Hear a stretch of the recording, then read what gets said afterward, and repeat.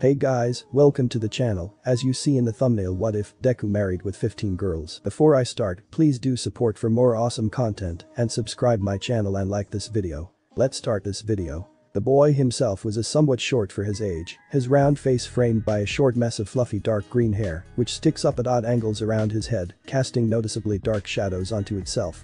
His eyes are large and somewhat circular, their eyes is the same green color as his hair, which at times are very watery, usually stretched quite wide, giving him an innocent appearance. He has a set of four symmetrical freckles in diamond formations, one on each cheek, but despite these prominent traits, he's often described by others as being plain looking.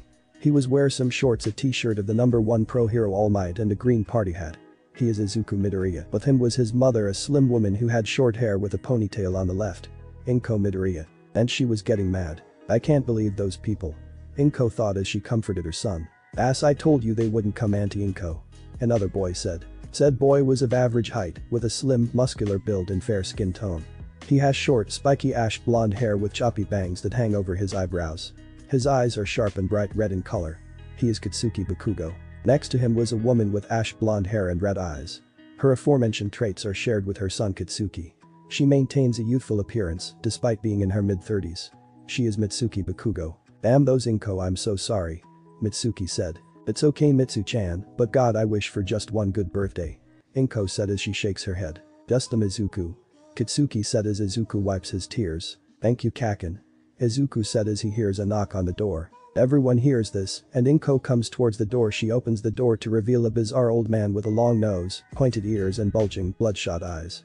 He wears a black suit with white gloves. He appears to be quite tall when fully stood up. Um may I ask who you are? Inko asked. Ah yes I am Igor and no young man I have no relation to Dr. Frankenstein assistant. Igor said as Katsuki snapped his fingers. Inko sweat dropped at this, and she looked at Igor and felt that she knew him. Igor said um have we met? Inko asked. Indeed I was the bookie of the poker table you played five years ago. Igor said with a smile. Inko looked confused until her eyes widened. Oh my I think I do. Oh Igor Sen would you like to come in? Inko said. Of course Inko. Igor said as he came in. Now then Igor first off I want to apologize for leaving abruptly five years ago. Inko said. It's alright Inko I believe it's time to tell you what you had won. Igor said. Oh right so what did I win? Inko asked. Of course the main reason that I'm here will be discussed later, but for now it's time for the prizes. First off you have won $3 billion United States dollars, next up 50,000 platinum bullions, and two boxes of Britannia's finest wine from the year 1969. 2,000 Hoshidan Kobans and a bottle of Yado's Choice Sake.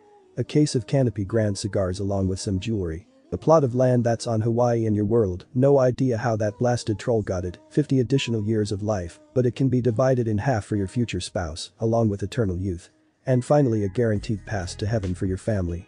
Oh there is more, but the young man wanted to give him your reward personally Igor said. Dead silent was always that it. Um what the dot Izuku of all people said. Oh Izuku the last part involves you. Igor said. It does? Um what is it? Izuku asked. Um I think I was still a bit drunk at that part, what was the last part? Izuku asked. Oh of course the last part is wedding contracts for young Izuku here.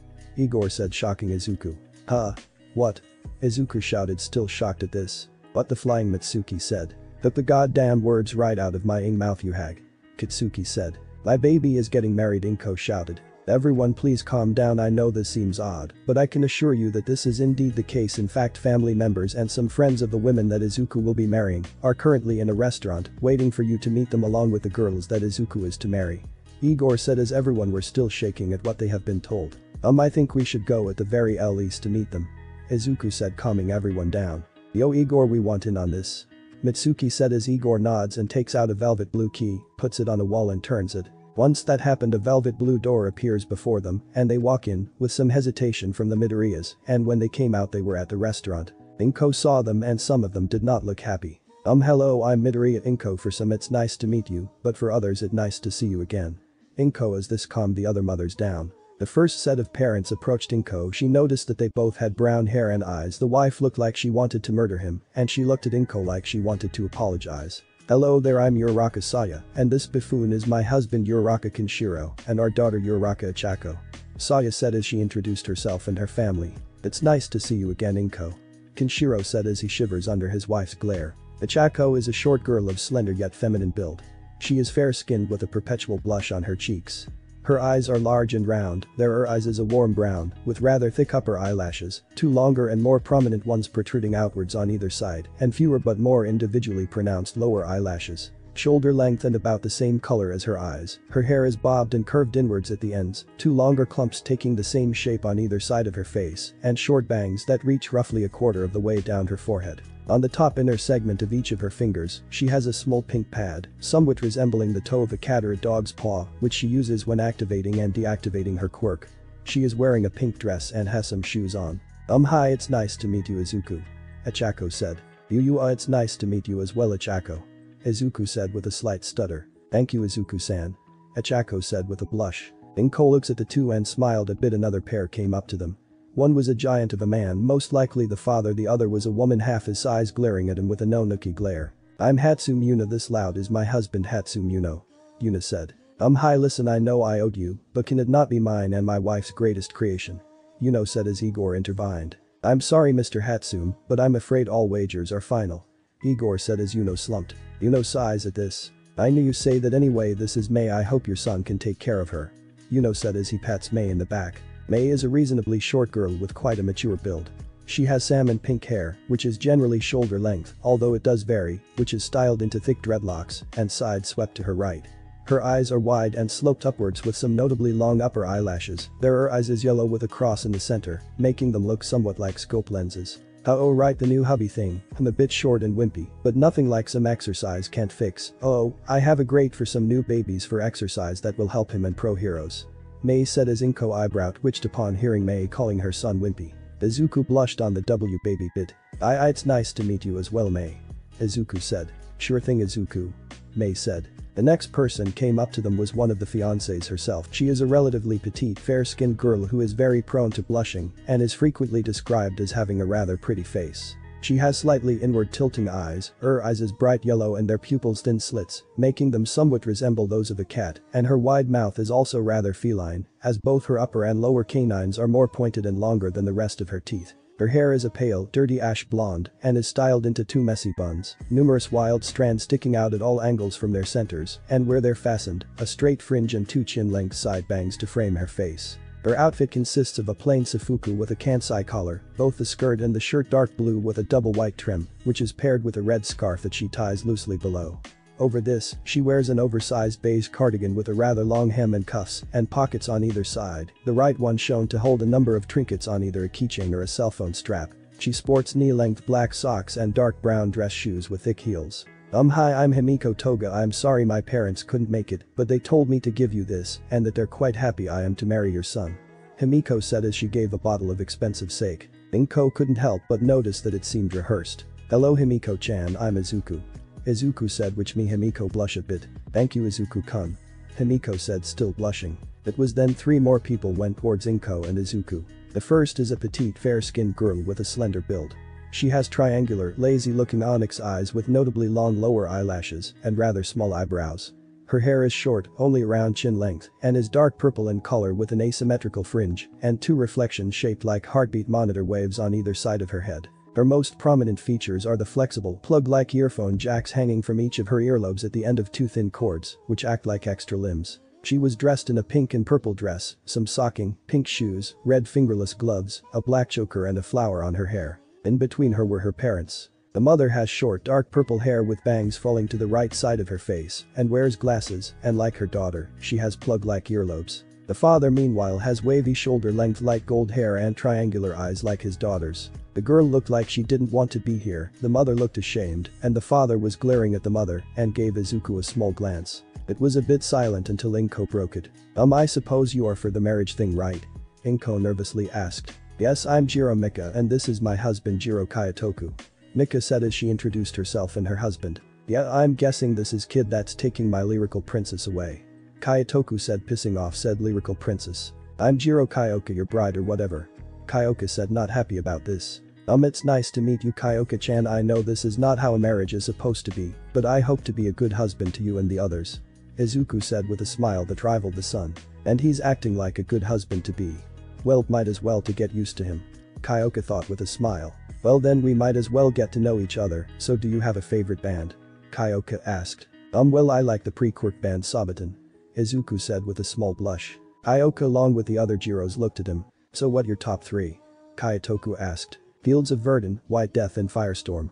Izuku said with a smile. Which song got you hooked to Sabaton? Mika asked with a raised eyebrow. Winged Hussars. Izuku said with a smile. As Izuku and the Jiro family talked a bit about music, Igor took the opportunity to interrupt them. Now then I believe it's to meet the next ones. Carolyn and Justine you can come and meet your new husband now. Igor said as two sets of footsteps are heard. What came out appeared to be young girls with platinum blonde hair and yellow eyes. The twins both wear a black eye patch with the letter V over one of their eyes and a blue prison guard outfit. One twin has a long braid and a hat with the letters OYOO, while the other twin has hair buns and a hat with the letters XMRN. The letters appear to spell oxymoron. They wear a brassard on their left arm. They also have matching black ties. The twin with buns has an electric shock baton to intimidate Izuku. Which worked and Inko was none too happy about that. I am Carolyn. The bun-haired twin said. And I am Justine. The braided twin said. We are the Velvet Twins it is nice to meet Izuku Midoriya.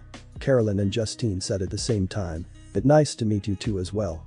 Izuku said with a smile that made both of them blush. Oh of course you should be honored to marry us. Carolyn said as she stuttered with a blush. I agree but I also hope that we can a longing relationship with you Izuku-san.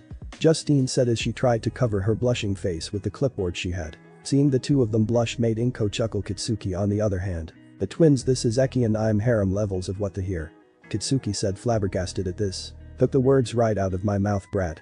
Mitsuki said until she saw a family of four coming towards Inko, Katsuki saw this. Boy Auntie Inko a family coming towards you. Katsuki said. The family looked like a traditional Japanese family two men and two women, three of them had red hair and one of them gray hair. They were all wearing traditional Japanese clothing from the Sengoku Jidai era, the eldest from what Inko saw had a daisho, the youngest was dressed as a shrine maiden with a festal, and the other boy had an ornate yumi. Are you Midoriya Inko? The eldest asked. I am and you are. Inko said. I am Hoshido Ryoma you met my father Hoshido Sumeragi I am saddened to say that he is no longer with us and as the eldest son, I am in charge of my father's debts that also includes my sister's marriage with your son. Ryoma said as he bowed. Oh damn sorry to hear that. Mitsuki said as Ochakos and Mei's families gave their condolences to the Hoshido family. I thank you for your kind words. The little shrine maiden said. Ryoma-sen allow my son and I to give our condolences to your family I did not know Sumeragi well, but from what I can remember he always had you and your siblings in his mind. Inko said. Thank you Inko-san. The gray-haired boy. Boy. How about we introduce Izuku his? Katsuki said as he counted off all the girls Izuku met.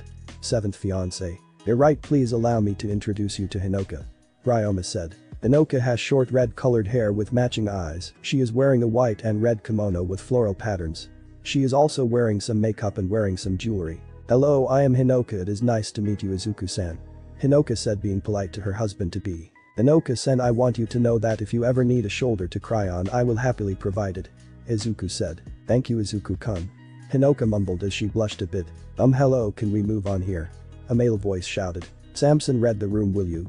A female voice said annoyed at the now named Samson. Filia really you need to introduce Cerebella to them already. Samson said as the now named Filia sighs. I am so sorry everyone Samson is being and Filia said as her hair raising up. Two women came towards the Midoriyas. Yo what's up?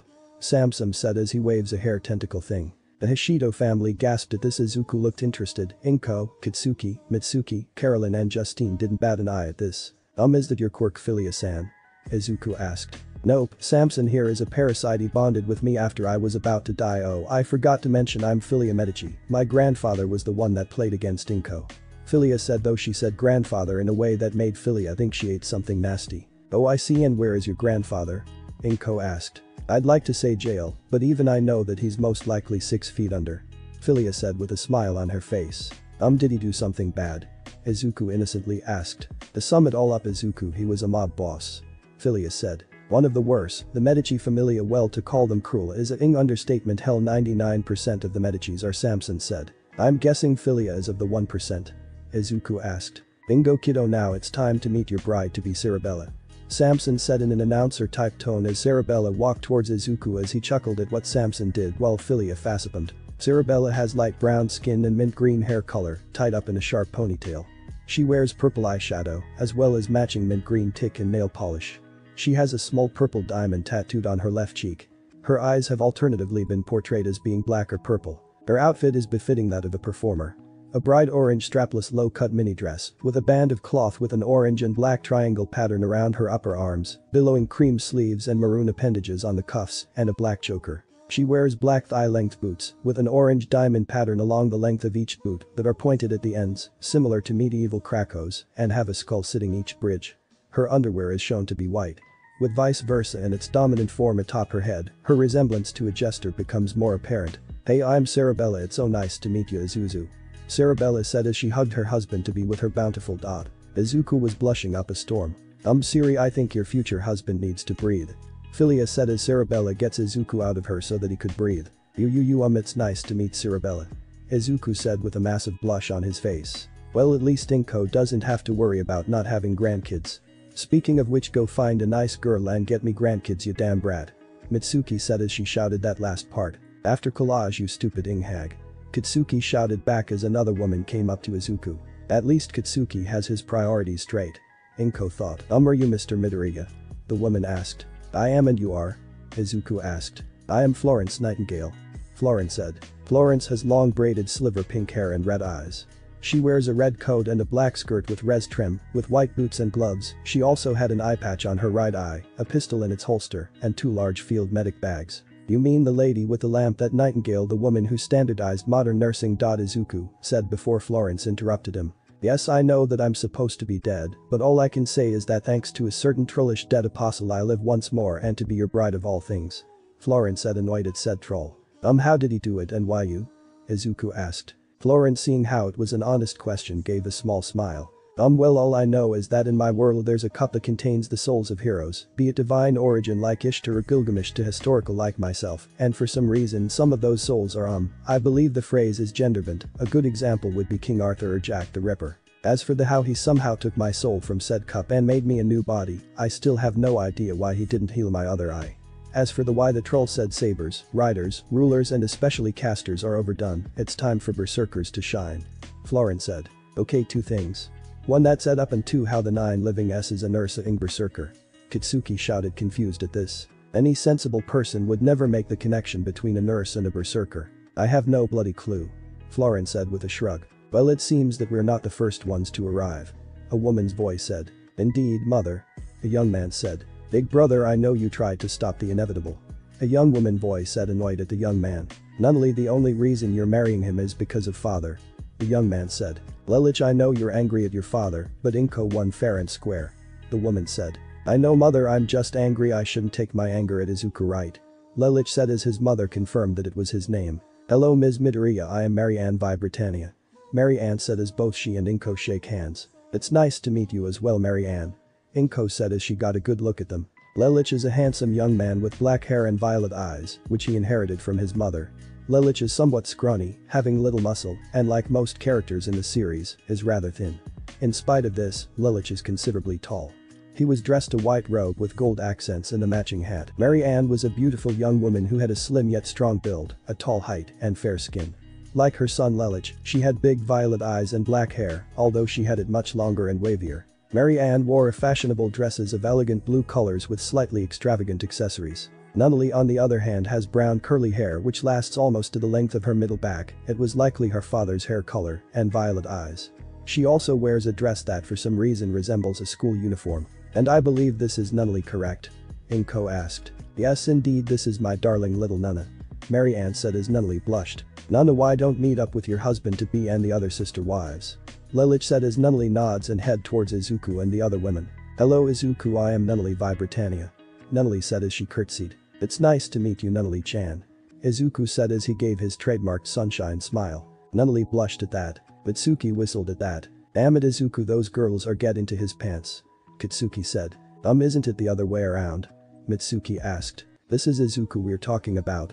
Katsuki said as if he stated the most obvious thing in the world. Okay you got a point Brad. Mitsuki said as a portal opened up. As three people came out of it, the first person was a young boy with green shoulder-length hair which was braided on the sides and green eyes. He wore a purple outfit with white boots and a blue mantle, as well as a large headdress. He also carried a golden scepter with a blue orb attached to it. The second person was a round, middle-aged man with light skin, gray hair, dark yellow eyes, and a long white beard that extends down to his abdomen. He often sports a sinister toothy grin whenever he is plotting something nefarious. He wears a pair of brown boots, a dark green shirt, a belt below his belly and short pants which are also dark green, and a grey coat with some hair of an animal around his neck, resembling a bourgeois. The third person was a tall, beautiful, and slender woman with long, light blue hair and blue eyes and porcelain white skin. She wore a general's apparel with long sleeves with buttons on the upper arms, a blue scarf on her neck, and high-heeled boots. She also has a tattoo on her dot. Oh Mr. Igor are we late? The young boy asked. Not at all Lord Kate. Igor said. I'm glad honest with me, Esdeath come we need to meet your new husband. Kate said happily. Yes my lord. Honest said. Of course my emperor. The now named Esdeath walked with him. Oh um and you are? Inko asked. I am Kate Yo emperor of the Isan empire. You played poker with me and my prime minister honest a few years back. Kate said. Oh you were the little boy I saw with a large man that I'd assume was honest right.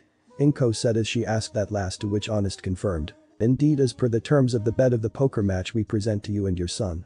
10,000 imperial gold coins, the Tigu. Lark de la Flamme Saint and the hand of General Esdeath Partas in marriage.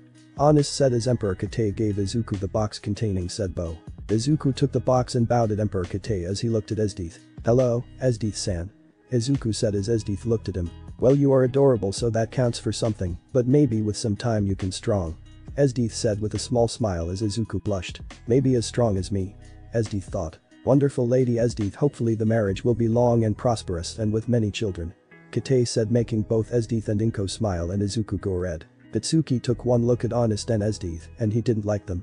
Honest was well if you look up the word scumbag or in the dictionary you'd find his photo next to it as for Esdeath, every ink part of his body was telling him to turn the other way, while singing this shit I'm out. Esdeath looked at Katsuki and gave him a smile. This caused him to back away a bit. Katsuki breathed a sigh of relief as another portal opened. This time two people came out of it. The first is a petite woman, commonly mistaken for being much younger than she really is. She has an adolescent face with emerald green eyes and green hair that naturally curls up on the ends.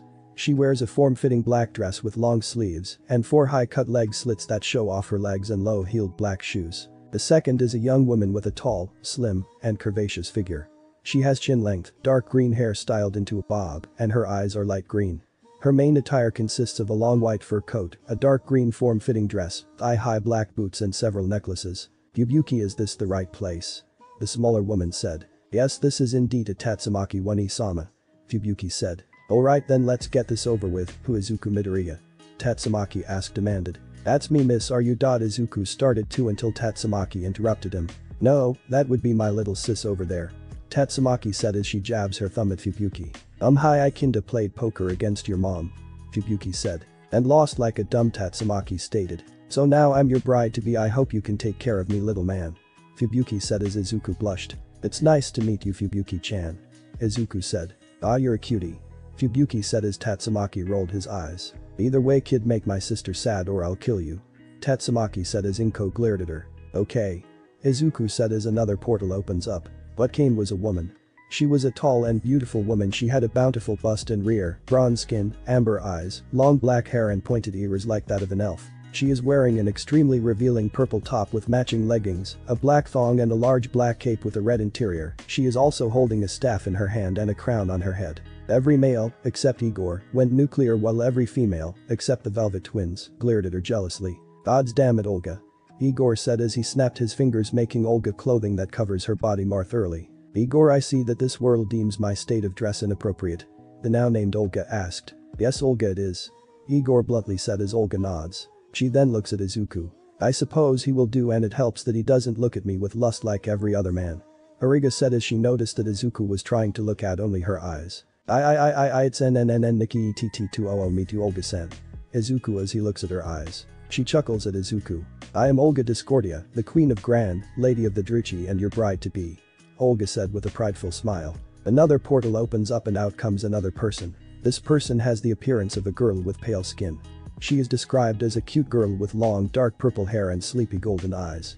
Her hair is tied in a long braid by a bow with a purple skull, reaching all the way down to her hips.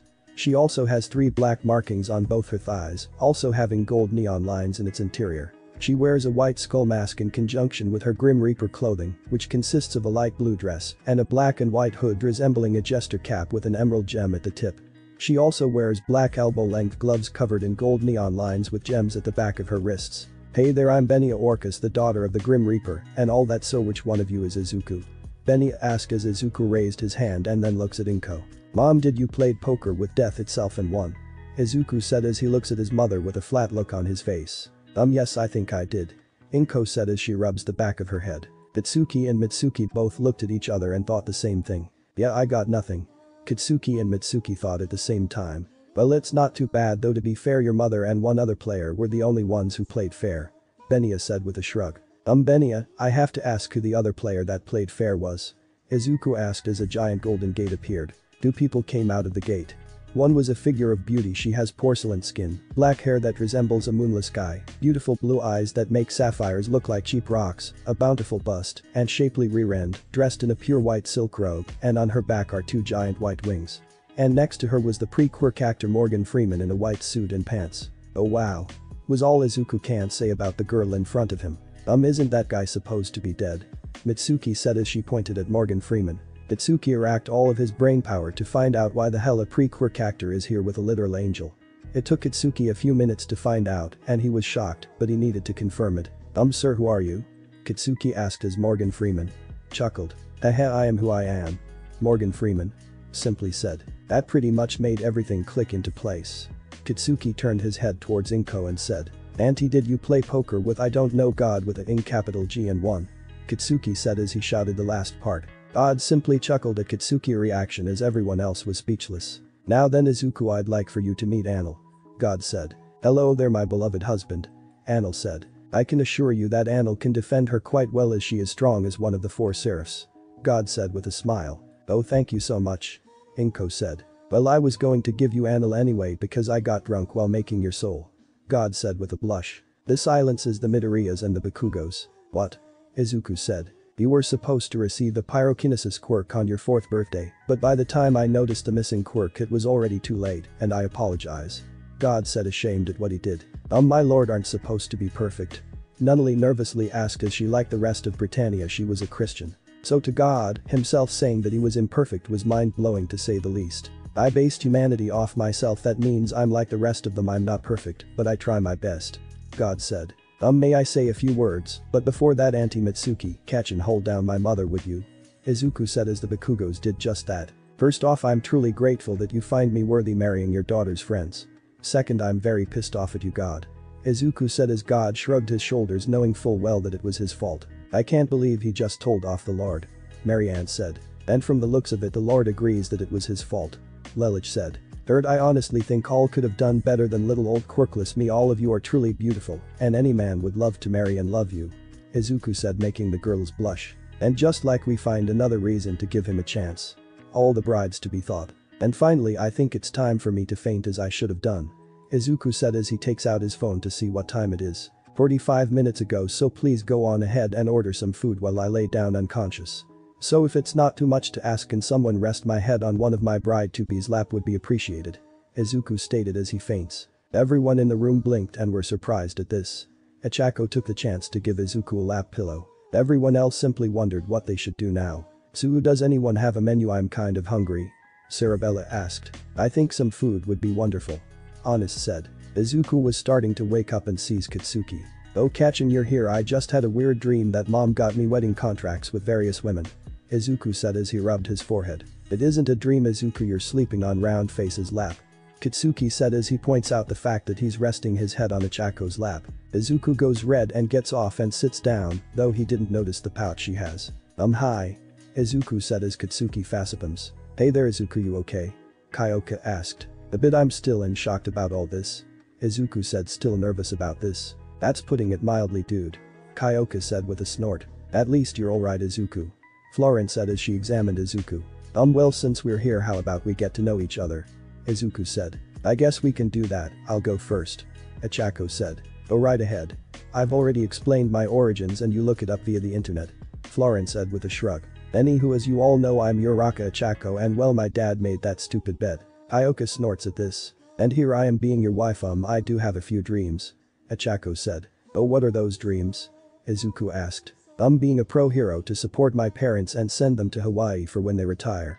Though that may be hard since my parents are dirt poor which is weird since they work a construction. Ochako said with a determined smile.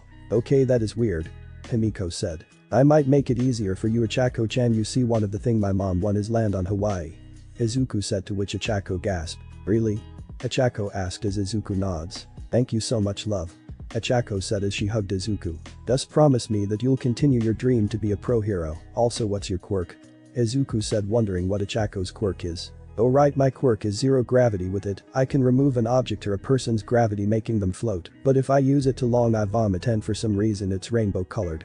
Ochako said. As Deeth raised an eyebrow at the weakness of her quirk. Izuku gave her a gigawatt smile and pulled out a notebook from out of nowhere and started writing about how to improve it, what support gear to use and so on.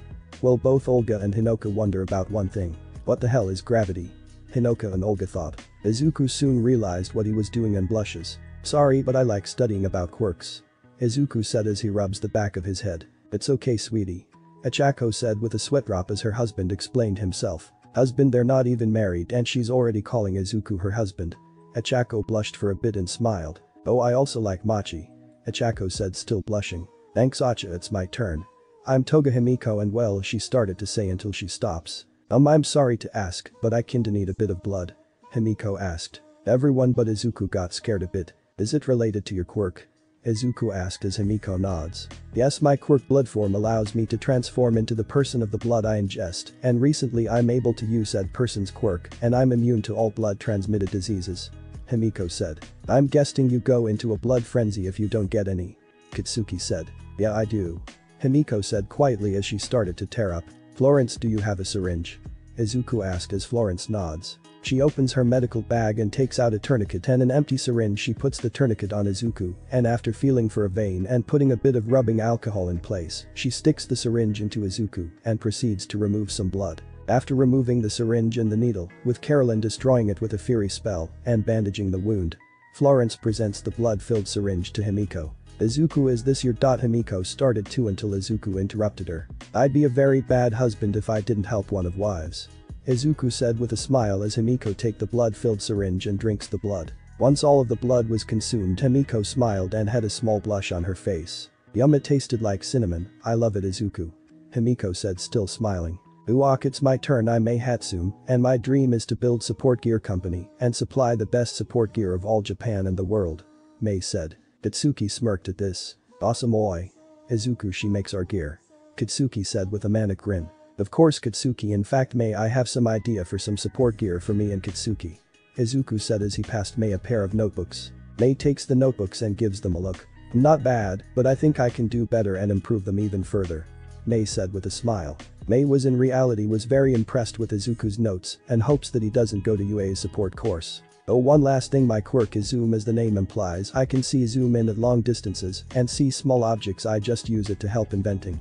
Mei said. I guess I'm next I'm Kyoka Jiro, and well I like making and listening to music, and I want to be a pro hero, and my quirk is well my earphone jacks, I can use them as extra limbs, and I can send my heartbeat through them, I'm also no slouch with a sword. Jiro said as Izuku writes about Jiro and her quirk. Jiro that's wonderful I hope we can work together as heroes. Izuku said. So um I have to ask is it true or quirkless? Jiro asked as Katsuki facepalmed. Earlobe's god with a in capital G confirmed Adumbus and even admitted to being at fault for Izuku not having one. Katsuki said. Oh right I forgot God himself said that himself. Kyoka said with a blush. It was at that moment that Carolyn and Justine spoke up. I think we'll go next right Justine. Carolyn said. A good idea Carolyn. Justine said with a nod. Now as you all might have saw we are not of this world Justine and I are from another dimension. Carolyn said. Specifically we reside in a dimension called the Velvet Room, a room between dream and reality, mind and matter, the consciousness and subconsciousness. Though oddly enough it is also connected to a similar Japan though everyone there is quirkless. Justine said as she let the info be absorbed. Holy shit. Katsuki simply said. Wow that's amazing. Izuku simply said. Okay hang on to your butts because our origin is a bit complex. Carolyn said. All questions regarding our origins will be answered after we explain it okay. Justine said as everyone nods. Okay first off the Velvet family is tasked with helping certain people called wild cards, these guys start off as strong as quirkless humans, but after a year's time they become strong to destroy gods, yes you heard me right gods. Carolyn said with a smile. The Velvet family has helped humanity five times the first two times it was just our uncle Igor and our father Philemon who helped them, but it was during the third time is where the second daughter Elizabeth and the only son Theodore joined in to help humanity. Justine said. Yeah they succeeded though not without lost a third wild card Minato Arisato sacrificed his life to maintain the Great Seal, which prevents Erebus from reaching Nyx, Elizabeth is still trying to bring him back. Carolyn said as her voice became a little somber. The true hero. Izuku whispered. Okay with the fourth wild card Yu Narukami who was helped our eldest sister Margaret, he led an investigation team against a serial killer and successfully capture him, he also faced Izanami no Mikoto and defeated her. Justine said. Not to mention he has a harem with Margaret, a girl named Marie, an inn manager called Yukiko and an idol named Rise. Carolyn said with a smirk. Justine sighs at Carolyn remark. Wild cards are also known to get harems with those they have bonded with and to this day, we don't why and how. Justine said. Anyway the fifth wild card is Cole Ren Amamiya is the wild card we had to help, but he didn't get the best luck you see he saved a young woman, but it turns out the man that tried to assault her was a politician, and he got booted to Tokyo and was given an assault charge. Carolyn said shocking the group and pissing off Katsuki.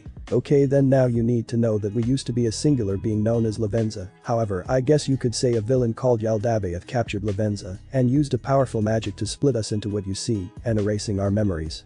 Justine said. At least it was until Ren snapped us out of it when he told us that he was marrying Lavenza and got us back together. Carolyn said. Our father Igor made us after that to help Ren and his harem on his quest.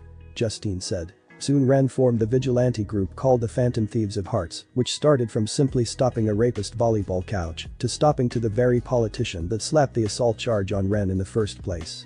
Carolyn said. He also destroyed Yaldabaoth as well. Justine said with a smile. Ren officially married his harem and got Lavenza pregnant. Carolyn said.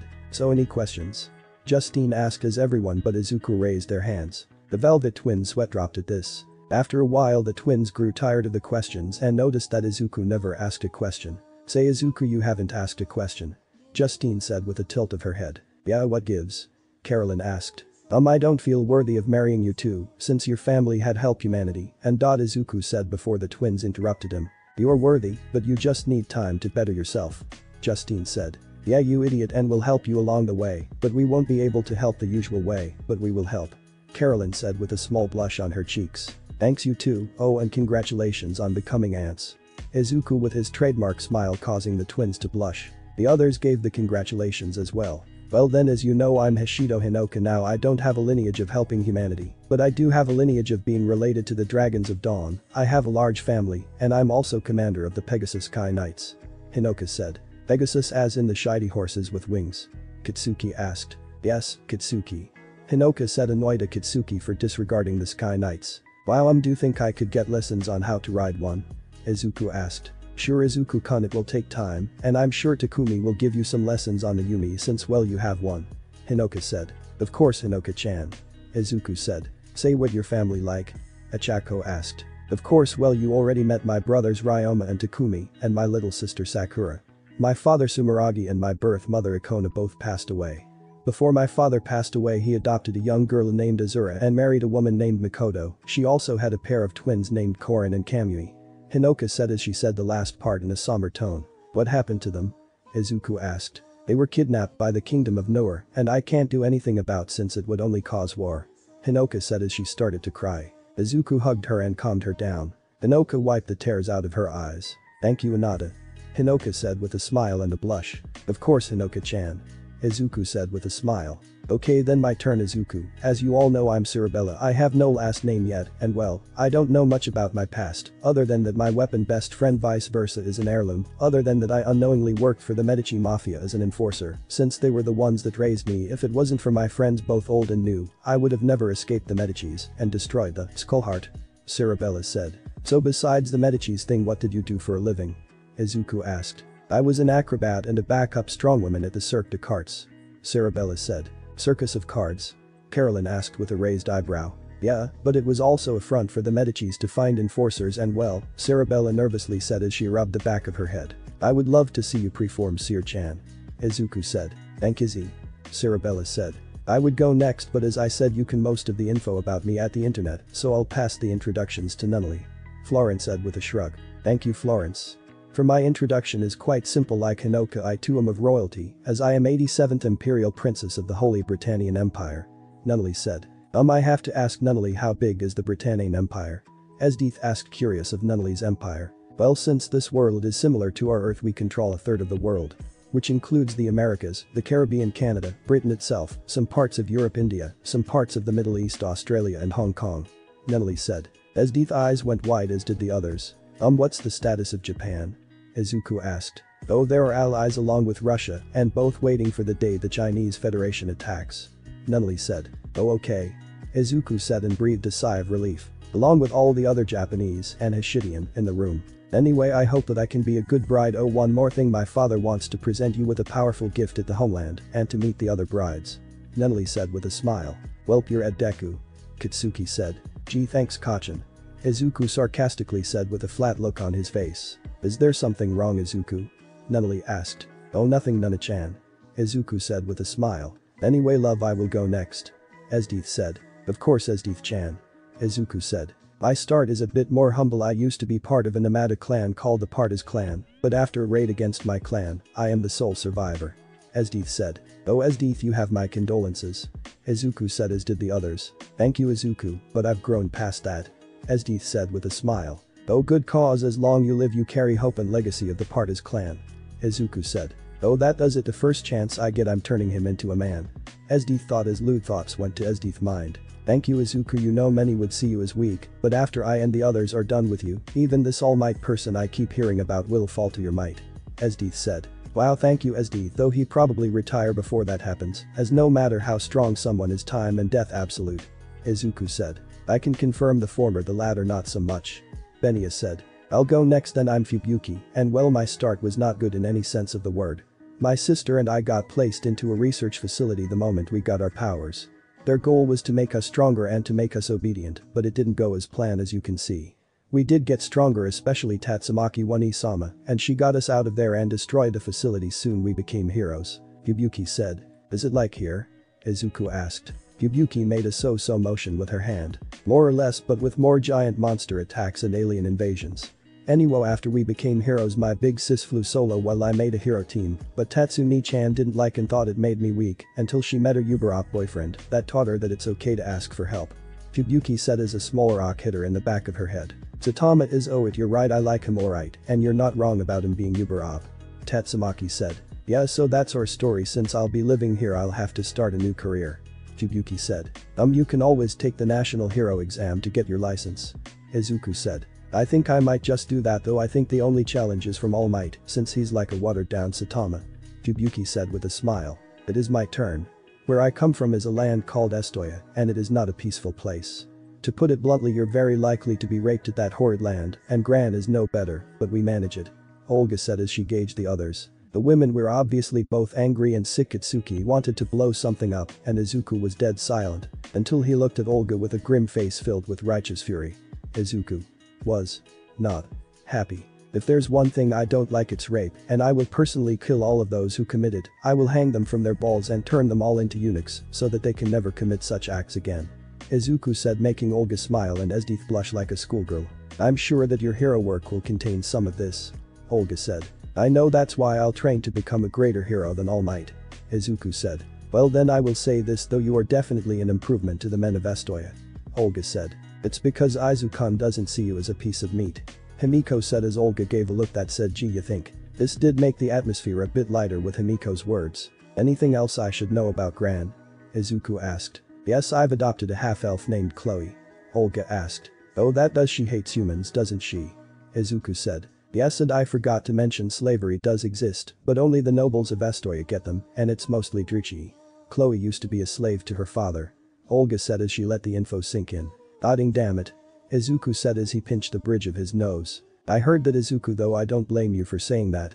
God said. And due to how Eostia is Izuku said as he left it at that. Olga nodded confirming Izuku's suspicions. Anyway let's get to my intro. Benya said as she changes the subject. Thankfully everyone went ahead with Benya idea. Well then I'm Benya Orcus, and I'm the daughter of Death himself and well, there was not much to say about it, mom used to be a human and met dad after she died, they fell in love and yada yada either way mom and dad wanted to have a vacation to Vegas and well, you all know what happened. Benya said. Yeah I know. Izuku said with a sweat drop. But well dad did say if he had a choice between giving me away to you or paperwork he would always chose the former. Benya said. Death has paperwork. Kyoka asked with a raised eyebrow. The up and even god has paperwork. Benia said with a shudder. I can confirm that father hates it with all his heart and both Satan and Lucifer both agreed that paperwork was an evil that they did not want to inflict on even the worst of the sinners. Anil said as everyone went wide-eye. Damn God, Satan and death hate paperwork. Kyoka said. Well then Anil it's your turn. Ochako said as Anil nods. Of course like Benia there's not much about me, but I know I will always be loyal to you Izuku. Anil said. Thank you Anil. Izuku said with a smile. Beni will love father has another gift for you. Anil said as she takes out a box. Oh what's in the box Anil? Izuku asked. As you know my father was supposed to give you a pyrokinesis quirk, but couldn't, so he have to give the quirk to someone else, but what he didn't told was that another angel told him he could have given the quirk to you at any other time. Anil said. Oh my god Izuku started to say until Anil interrupted him. Please Izuku allow me to finish. Now father was quite flushed since as I stated earlier, he had already gave the quirk to someone else, but either way to make a long story short within this box is a powerful telekinetic quirk with it, you'll get the power you oh so deserved. Anil said. Um wow I just wow. Izuku said as he tries to comprehend what he was just told. It was at that moment a waiter with a tray of food came by. Oh the food's here. Justine said. Finally I'm starving. Carolyn said. But oh Izuku I've ordered for you, but I didn't know what you like so I ordered you some katsudon. Ochako said. Thank you Ochako. Izuku said as he got out of his stupor and gave her smile. And just like that round face is going to be the head girl of the harem. Katsuki said. At that comment the other wives looked at Katsuki. Katsudon is his favorite meal and his mom makes the best katsudon in the damn world.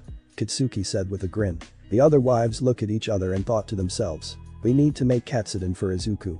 The other wives thought to themselves. All of them wanted the position of head wife. Um thank you Ochako-chan. And thank you all for helping me. Izuku said. At that the wives blushed. Well I might as well tell you guys about me.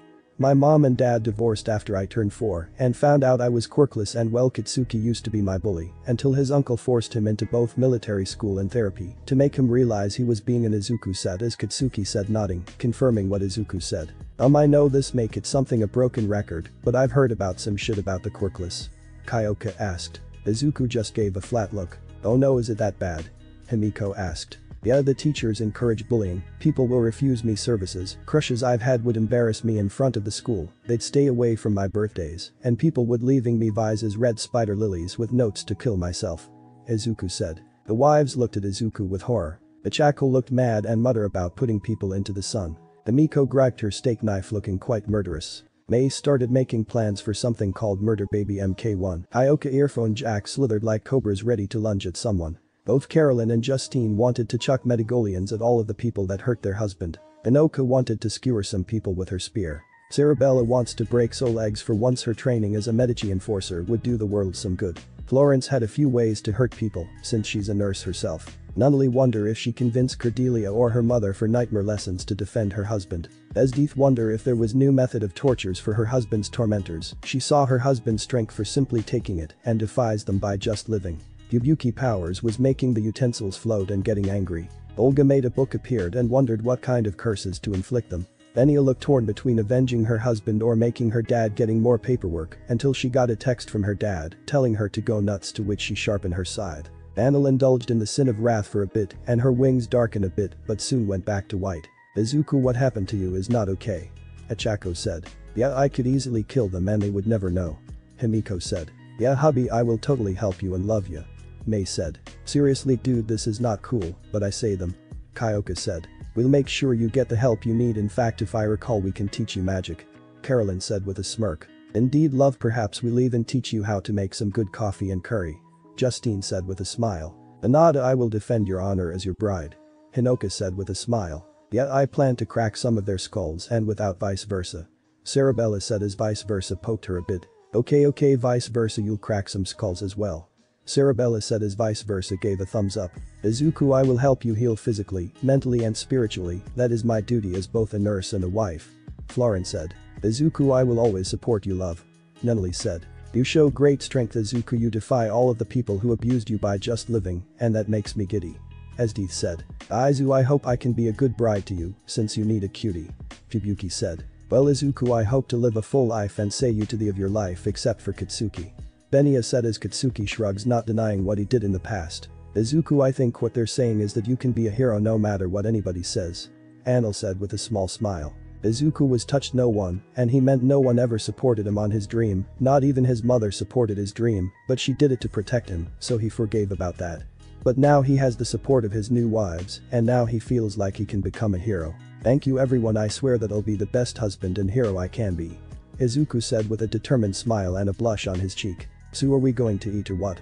Katsuki asked. Izuku, his wives and Katsuki ate their food happily. Was five years since Izuku met his wives, and if he hadn't he would have never had any confidence in his life well he probably would have met most of them later in his life and not having the confidence to see them. But either way he loves his wives. Since then he had managed to learn a lot. He also married them in the courthouse wedding, and those going to Collage vowed to have a celebration before they went to UA University, those not going are having celebrations in other times. Well except Esdeath she wanted to go on a hunting trip, just her and Izuku sort of like a honeymoon, they had found a world where giant monsters were thing, and they used their parts for weapons and armor. Esdeath commented on how the Partas clan would have thrived there. They slayed a dragon that for some reason gave him Buddha vibes. Especially with his new lance Infinite Wisdom, he also has a new rifle Fading Blossom and a sword Radiant Flow. He plans on giving that blade to Kyoka. Anyway he was still learning how to use Infinite Wisdom thanks to Hinoka. She is also teaching him how to ride a Pajisi. In fact during those five years he had learned a lot from his wives. First thing he did was using the stone that contained the telekinetic quirk.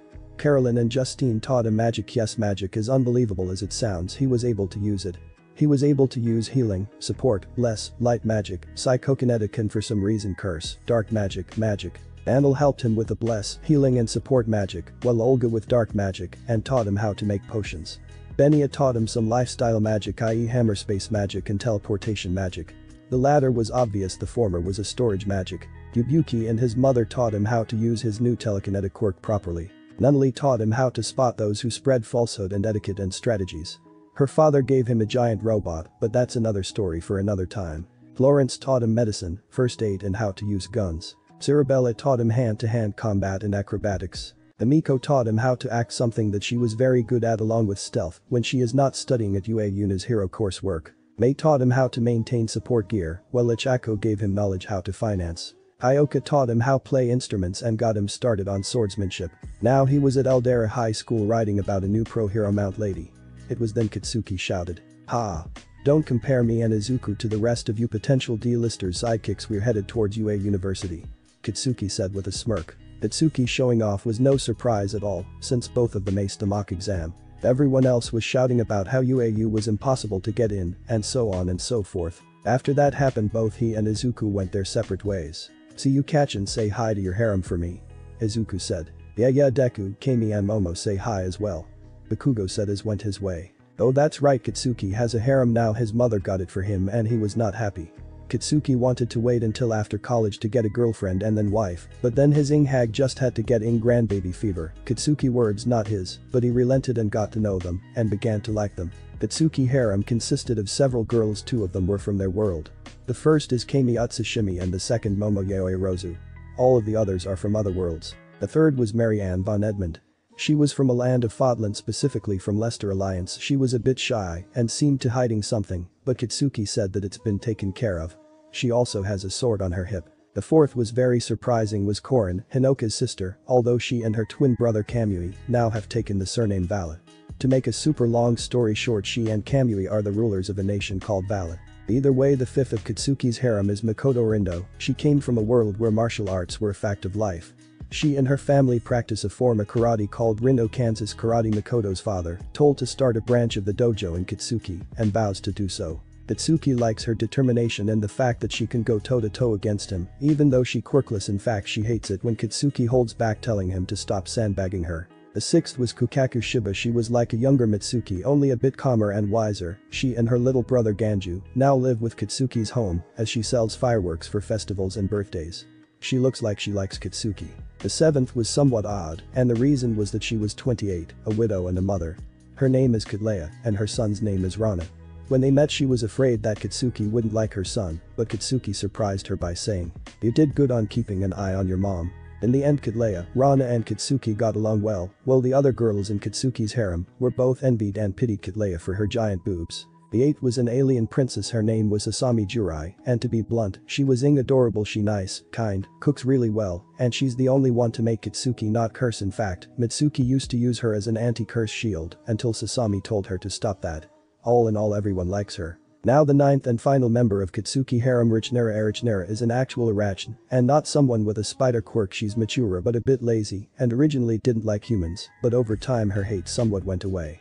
She also gets drunk on coffee. Katsuki matched well, but he is adamant about getting married after college. His girls are fine with that. Izuku was now taking a shortcut due to Mount Lady wrecking the train lines. Izuku was walking through an alley when a man made of slime came out from the sewers. Yes. A mid-size cloak, don't move Brad it will only take a moment. The slime villain said as he tries to kill Izuku. Izuku tries to gasp for breath he thought he would die until he remembers his magic. Izuku began to charge his curse magic on his hand, the slime villain noticed. Oh what the hell. The slime villain wondered as Izuku shouted. I gain. Izuku shouted as he blasted the slime villain scattering his body everywhere. Izuku breathes after that happened. It was at that moment the man bursts opens to reveal a man. The man has equally muscular and well-defined physique, his design resembling a typical western comic book superhero. He has short blonde hair, swept backwards, with two distinct tufts that stick up above his head, leaning slightly to each side, which often casts a dark shadow over his face, hiding everything but his bright blue eyes. He is dressed in a white shirt, greens pants and a pair of brown shoes. Have no oh. The man said as he see the scattered slime. Izuku turns around to see the man and is shocked. Oh my god it's All Might. Izuku mumbled as he fainted. Well that happened. All Might said as he sweet dripped. Sometime later, Izuku woke after a while and sees All Might picking up the remains of the slime villain. All Might. Can I. Izuku started to say until he sees an autograph of All Might in his notebook taking up two pages. Oh young man I'm glad to see you're alright. All Might said. I'm okay All Might I had to use my quirk to stop him. Izuku said. Don't worry young man new laws make so that quirks can be used for self-defense, so you're safe from repercussions. All Might said. Izuku sighs in relief. Now then I have to take this villain to the police so with that farewell. All Might said as he leaps away. Izuku felt like this day couldn't get any better. Buzz. Izuku felt his phone buzzed and he answers it. To see that Fubuki had sent him a photo. He reveals that the photo was of Fubuki in a dark green lingerie. Yeah this day just got better. Two months later, it had been two months since he had gotten All Might's autograph he was now in Moe's Aisley diner on a date with his first bride and head of the harem Midoriya Ochako. He was and still is amazed him at how Ochako became head of the harem.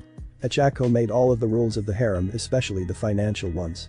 One rule that she did established was that until they were ready to face the world i.e. become professional heroes or obtain stable careers, as they would stick to their maiden names in public and only speak their true surnames in private. Katsuki made this rule for his harem as well. Another rule was that the older members of the harem can wear their rings, but the younger ones cannot for safety reasons, and when asked say one of two phrases. No comment or I will not reveal my spouse publicly nor their surname for safety reasons. Some of the younger brides complained about but accepted the terms. And the biggest rule revolved around babies as previously stated the older members can get pregnant, but not the younger ones, and absolutely no information about their kids were to be revealed in any shape or form other than legal documents. Chloe was the sole exception, since she had been previously adopted by Ariga before marrying Izuku.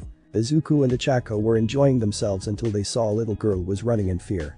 The girl has bluish off-white hair, messy and unkempt, which is parted in the middle of her forehead, almost reaching down to her waist. She has very wide, innocent-looking eyes, which are bright red in color. Poking out from the right side of her forehead is a small brown horn, which grows larger when her quirk is activated. She's wearing a plain, short-sleeved dress, which is a dirty pale tan color. Bandages are wrapped around both her arms and legs, stopping at her wrists and ankles, underneath which she is shown to have numerous scars. Izuku look I think that girl is in trouble. Ochako said as the girl hides under a dumpster. It was at that moment they saw a scary person. Said person is a pale man of narrow build with short shaggy auburn hair, parted to the right. His eyes are thin, their eyes is small and gold, with rather long lower eyelashes and small eyebrows. He is wearing a black dress shirt with matching dress pants, a pale grey tie around his neck and a belt with a long thin buckle around his waist, with three beaded low piercings in his left ear. Over this, he wears a dark olive green bomber jacket, its collar lined with thick purple fur, and white lace-up sneakers, their soles tan colored, with no socks on his feet. His most noticeable features are the white surgical gloves he wears on his hands and the magenta plague mask he wears over his mouth, which is tipped and embroidered with gold. Where is she? The pale man said. We don't know boss. Another man said. The pale man growled a bit but stopped. Find her and if you don't you're dead. The pale man said as the other guy nods. The both of them run off. The Midoriyas soon leave the diner, after paying of course, and went to the dumpster and looks under it. Hey are you okay? Ochako asked in a soft tone. The little girl shivered and tried to get away. Izuku got close and spoke. Hey there's no need to be afraid she's nice. Izuku said as he holds out his hand. The little girl stops shaking and doesn't smile, but she takes Izuku and crawls towards him. Help me please. The girl begged. Both Midoriyas nodded and tried to go to the police. I believe you have something of mine. The pale man said. The couple turned around to see the pale man standing right behind them. Izuku sensed that he was bad news and held the girl close. I bad. The girl said as she shakes in fear. Izuku scowls as Ochako presses a button on her phone. I won't ask again brats give me Eri. Kai said. Izuku responds with activating his telekinetic quirk in one hand while hold the now named Eri in the other. HMMP damn heroic mincet of the infected, well then now you die. Kai said as he charges towards the Midoriyas. Or would have until he was pulled back and tossed at a building. Both Izuku and Ochako didn't need to wonder much on who did it as they both knew who did it. Fubuki. Izuku shouted as Fubuki looked at him. Aizu, Acha take the girl and run Esdeath, and I will handle him. Fubuki said as the two ran with Eri. Let's see how he stands up to us. Esdeath said ready to use her eyes. Damn infected bitches. Kai said as he got back. Soon a crowd began to show. Look it's Ice Storm and Esdeath.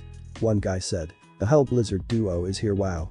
Another guy said. Hell yeah they're so hot. A grape-headed goblin said. Well then Fubuki shall we give them a quick show I have to give my little one his story and tuck him in. Esdeath said with a sadistic grin. Of course Esti. Fubuki said with a grin of her own. DGGRRRR you two go after those kids I'll take care of these bitches and I expect a disinfecting bath after this is said and done got it. Kai said as the other two mooks went after Izuku and the others. But Izuku and the others, Izuku, Ochako and Iri are still running away from Kai's mooks. Damn it, Izuku do you have anything to stop them? Ochako asked as Izuku nods. Masukunda. Izuku shouted as the spell making them slow down. What the hell? Mook 1 said as he felt sluggish. Don't worry man I'll fix it. Restore. Mook 2 said as he used his quirk to undo Izuku's spell. The Mooks continues to run after Izuku. Well damn that happened, but this should help Masukukaja. Izuku said as the three of them ran faster than the Mooks. But Mook 1 uses his quirk to capture Ochako with light rope. Ochako. Mikaugain. Izuku shouted as multiple blasts of light hits the Mooks. This makes the Mooks lets go of Ochako. Izuku ran towards his bride and uses his body as a shield. Damn it all. Mook 1 tries to use his quirk again only to hear. Have no fear for I am here. All Might shouted as he appeared. Oh shit it's All Might. Mooks 1 and 2 shouted in fear, knowing that they are screwed. Texas smash. All Might shouts as he punches the Mooks and knocks them out. All Might you're here. Izuku said surprised to see All Might here. Not what I expected to do on my day off, but hey it is what it is. All Might said as Ochako gives him a flat look. Did you just used a centuries old TikTok? Ochako said still giving the symbol of peace a flat look. Um maybe. All Might. Sometime later, the Staffu hospital, Izuku and the others are at the hospital after everything that had happened. Kai was arrested along with the Mooks. When they checked to see who Eri's parents were they found nothing. Eri not wanting to be away from Izuku and Ochako wanted to stay with them. Izuku, unsurprisingly, volunteers to be Eri's guardian.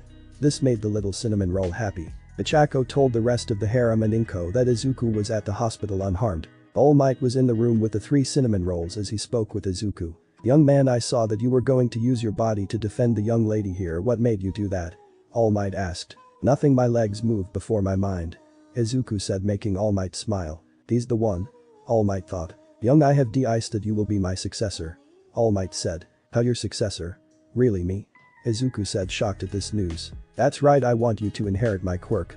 All Might said. It took All Might a nanosecond to realize that he and Izuku weren't the only ones in the room. I'm sorry what? Ochako said. It was at that moment that the door busted open to reveal Inko and the rest of Izuku's harem. All Might looked at the amount of people and asked. Did you hear everything? All Might asked as the harem and Inko nodded. Well then what else can happen now? Izuku said as All Might bursts into smoke. In place of All Might there is a very skinny man with sharp angular features and long limbs, his neck long and his eyebrows absent. Well then I knew you had to see me in this form sooner or later young Midoriya. All Might. Said. Yeah but before that can we an explanation on what the hell is going on here? Inko asks while she cried. Um yeah well it started when Ochako and I had our date. Izuku said as he explains what happened. Izuku had explained what happened, and to say that his mother and his harem was worried was an understatement, considering Inko almost flooded the hospital again. All Might wondered who these women were and why are they hugging his successor. Um Midoriya Shonen can you tell me who these women are? All Might asked. Oh I guess I should introduce them, but first I need you to keep this a secret okay All Might. Izuku said as All Might shrugged. Sure you're keeping the secret about my quirk which I have yet to explain, but sure. All Might said. They're my wives All Might. Izuku said. All Might brain sort of reset but soon came to and he said. Um I'm sorry I must misheard, but you these women are your wives. All Might said. Well except Iri and my mother Inko. Izuku said as he points at the two. Still 15 wives I can see why you want to keep this under wraps. All Might said still shocked at this. Should I introduce them? Izuku asked as All Might nods. Preferably their first names since I'm guessing you did a civil service so that you can use the Midoriya surname. All Might said as Izuku's harem nods. Midoriya Ichako. Ichako said with smile. Midoriya Himiko. Himiko said with a toothy grin. Midoriya Mei. Mei said happily. Midoriya Kyoka. Kyoka said as she twirled one of her earjacks. Midoriya Carolyn, Midoriya Justine. The twins said at the same time. Midoriya Hinoka. Hinoka said with a bow. Midoriya Cerebella and the hat is vice versa. Cerebella said as vice versa shook All Might's hand. Greeting All Might I'm Midoriya Florence. Florence said. I'm Nunnally Vi Midoriya. It's a privilege to meet the symbol of peace face to face. Nunnally said as she shook All Might's hand. You already met me, but it's nice to use my true name I am Midoriya Esdeath. Esdeath said with a smile. Same with me I'm Midoriya Fubuki. Fubuki said. This shocked All Might even further he was also married to Hell Blizzard duo. Midoriya Olga. Olga said simply. Midoriya Benia. Benia said with some cheer. Midoriya Anil. Anil said with a gentle smile. I see well then I will help Midoriya Shonen. Also my name is Toshinori Yagi. All Might said as he gave his real name. Thank you Yagi-san. Fubuki said. Now then I have an idea on how to help Izuku-san training. Toshinori said. Oh you do. Inko said as Toshinori smiled. While Inko and Toshinori talked Izuku and his harem kept watch of Izuku and Iri. Iri are you okay? Izuku asked as Eri nods. Yes. Iri quietly said as she hides behind Izuku. It's okay Iri they're nice people. Izuku said with a smile. Olga mutters a scanning spell to see Eri's memories her widen at the time Eri was with that man and frowns. She sends a mental message to the rest of the harem and Izuku. Upon the message being received Izuku was angry at Kai for what he did to Eri. The harem on the other wanted Kai's head mounted on their wall. Olga, Esdeath and Ichako especially the latter for having seen how scared Eri was of Kai and the former, due to them being mothers. Eri right. I want you to hear me for a second okay? Olga said in a gentle voice. Eri looks at Olga and nods. Okay I want you to listen very carefully to me. Your power is a gift not a curse. Olga said making Eri confused. B but Kai said. Eri started to say until Olga put her finger on her silencing her. He's wrong about your power being a curse, can it hurt people yes, but it can also help them. Olga said making Eri eyes go wide. Izuku being a quirk nerd that he has wondered what Ariga was talking about. Um Olga-chan what is Eri's quirk?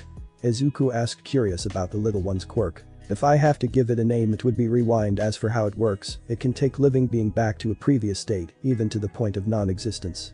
Olga said in a serious tone. This makes Izuku's eyes widen that is an extremely powerful quirk. If harnessed correctly it can heal the most grievous of injuries and even give an old withered crone her youth back and I can expect Midnight and Pixie Bob of the WWP would give anything to get their youth back.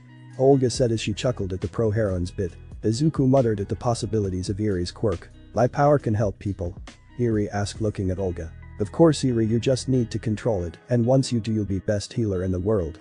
Olga said with a smile. Eri hugs Olga but doesn't smile. Izuku smiles at this. It makes him happy he met his idol and was chosen to be his successor and having saved Eri. Now he saved a child and from what his wives know about her, they want to protect her and the fact that Fubuki and Olga would want kids thanks to Eri. Yeah hopefully that goes well. Ah Midoriya Shonen I have a great idea on how to train you.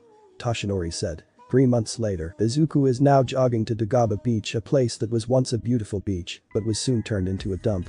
Izuku was tasked to clean the place up for the community well that and to see if he has the strength to use Toshinori's quirk one for all.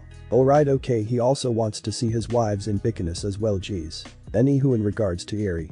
He had officially adopted her as his daughter, well technically Fubuki adopted her but details, the moment that she had called him papa he cried, which made Inko cry, which resulted in Esdeath freezing the two Midoriyas as to not flood the hospital again. It only took a week to formalize the adoption.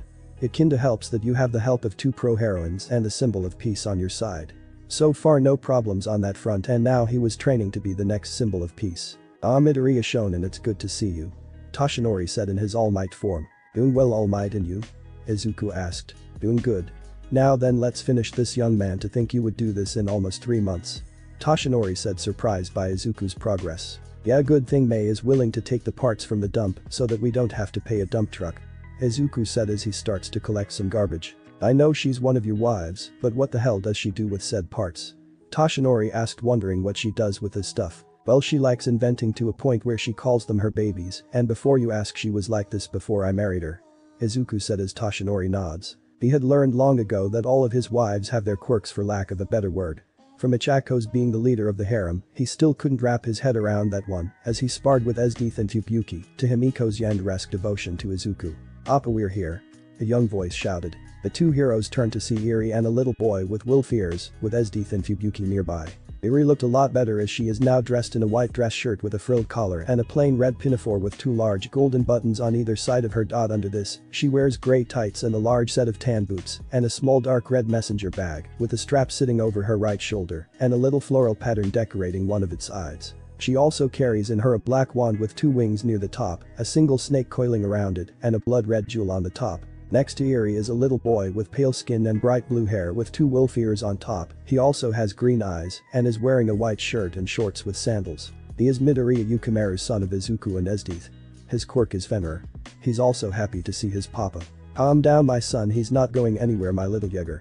Esdeath said as she cuddles her little toddler of two years. Hey Izu we're here how's the beach coming along? Fubuki asked. Doing well just one more pile of garbage and we're set. Izuku said. Um seems easy enough. Esdeath said as Yukimaru looks at Izuku and tries to reach out to him. Oh Yukimaru. Izuku said as he shakes his head. Izuku sighs and walks up to Esdeath and takes Yukimaru. Say all might can I look after him for a bit? Izuku asks. Sure we have all day. Toshinori said with a smile as Izuku played with his son and daughter. Izuku looks after Yukimaru and mostly to make sure he doesn't use his quirk too much. His quirk Fenrir gives him will features, enhanced speed, strength, regeneration and ice powers. Izuku believes that his ice powers comes from his mother specifically her Teigu. The demon extracts and from Esdeath told him it granted her ice powers and freezes anything, and it used to make her insane, but she seems to calm down after he had with her the first time, and even became nice after they conceived Yukimaru. Which was odd until Kitsuki told him that the creature that made demon extracts was horny. It was dumb, but Izuku had no other answer. But right now he was playing with Yukimaru and Eri. After a bit he went back to training and took the last pile of garbage to Toshinori's truck. Okay that's the last one all might. Izuku said as he wipes the sweat off his brow. This is amazing, but I have no idea how to improve on your training well I do have an idea, but he scares me. Toshinori said as he shivers in fear. In Izuku mind only one thought comes to it. But that no who the can make All Might act like a little bitch. Izuku thought as he channels his inner Katsuki. Well if he trained you I guess we can ask him on what to do. Izuku said as Toshinori grimly nods. When he got Midoriya's approval, Toshinori uses his phone to contact the person that scared him. Izuku still wondered who would scare All Might. A week later, ah. Izuku shouted as he was slammed on a training mat. Now I can see how this guy made All Might his bitch. Izuku thought as he sees the guy that tossed him like a sack of potatoes. The person who tossed him is an extremely short elderly man with heavy wrinkles and a scrawny build. He had a light complexion and yellow eyes. His hair is grey and spiky, styled short with some bangs hanging forward and a trimmed beard. He is dressed in his hero costume consists of a full-body monochrome suit along with a yellow cape, a belt with a letter G on it, very thick yellow gloves and boots, and a dark domino mask which resembles two diamonds. The is Sorahiko Torino also known as Gran Torino. Haha glad to see I can whip whippersnappers in place.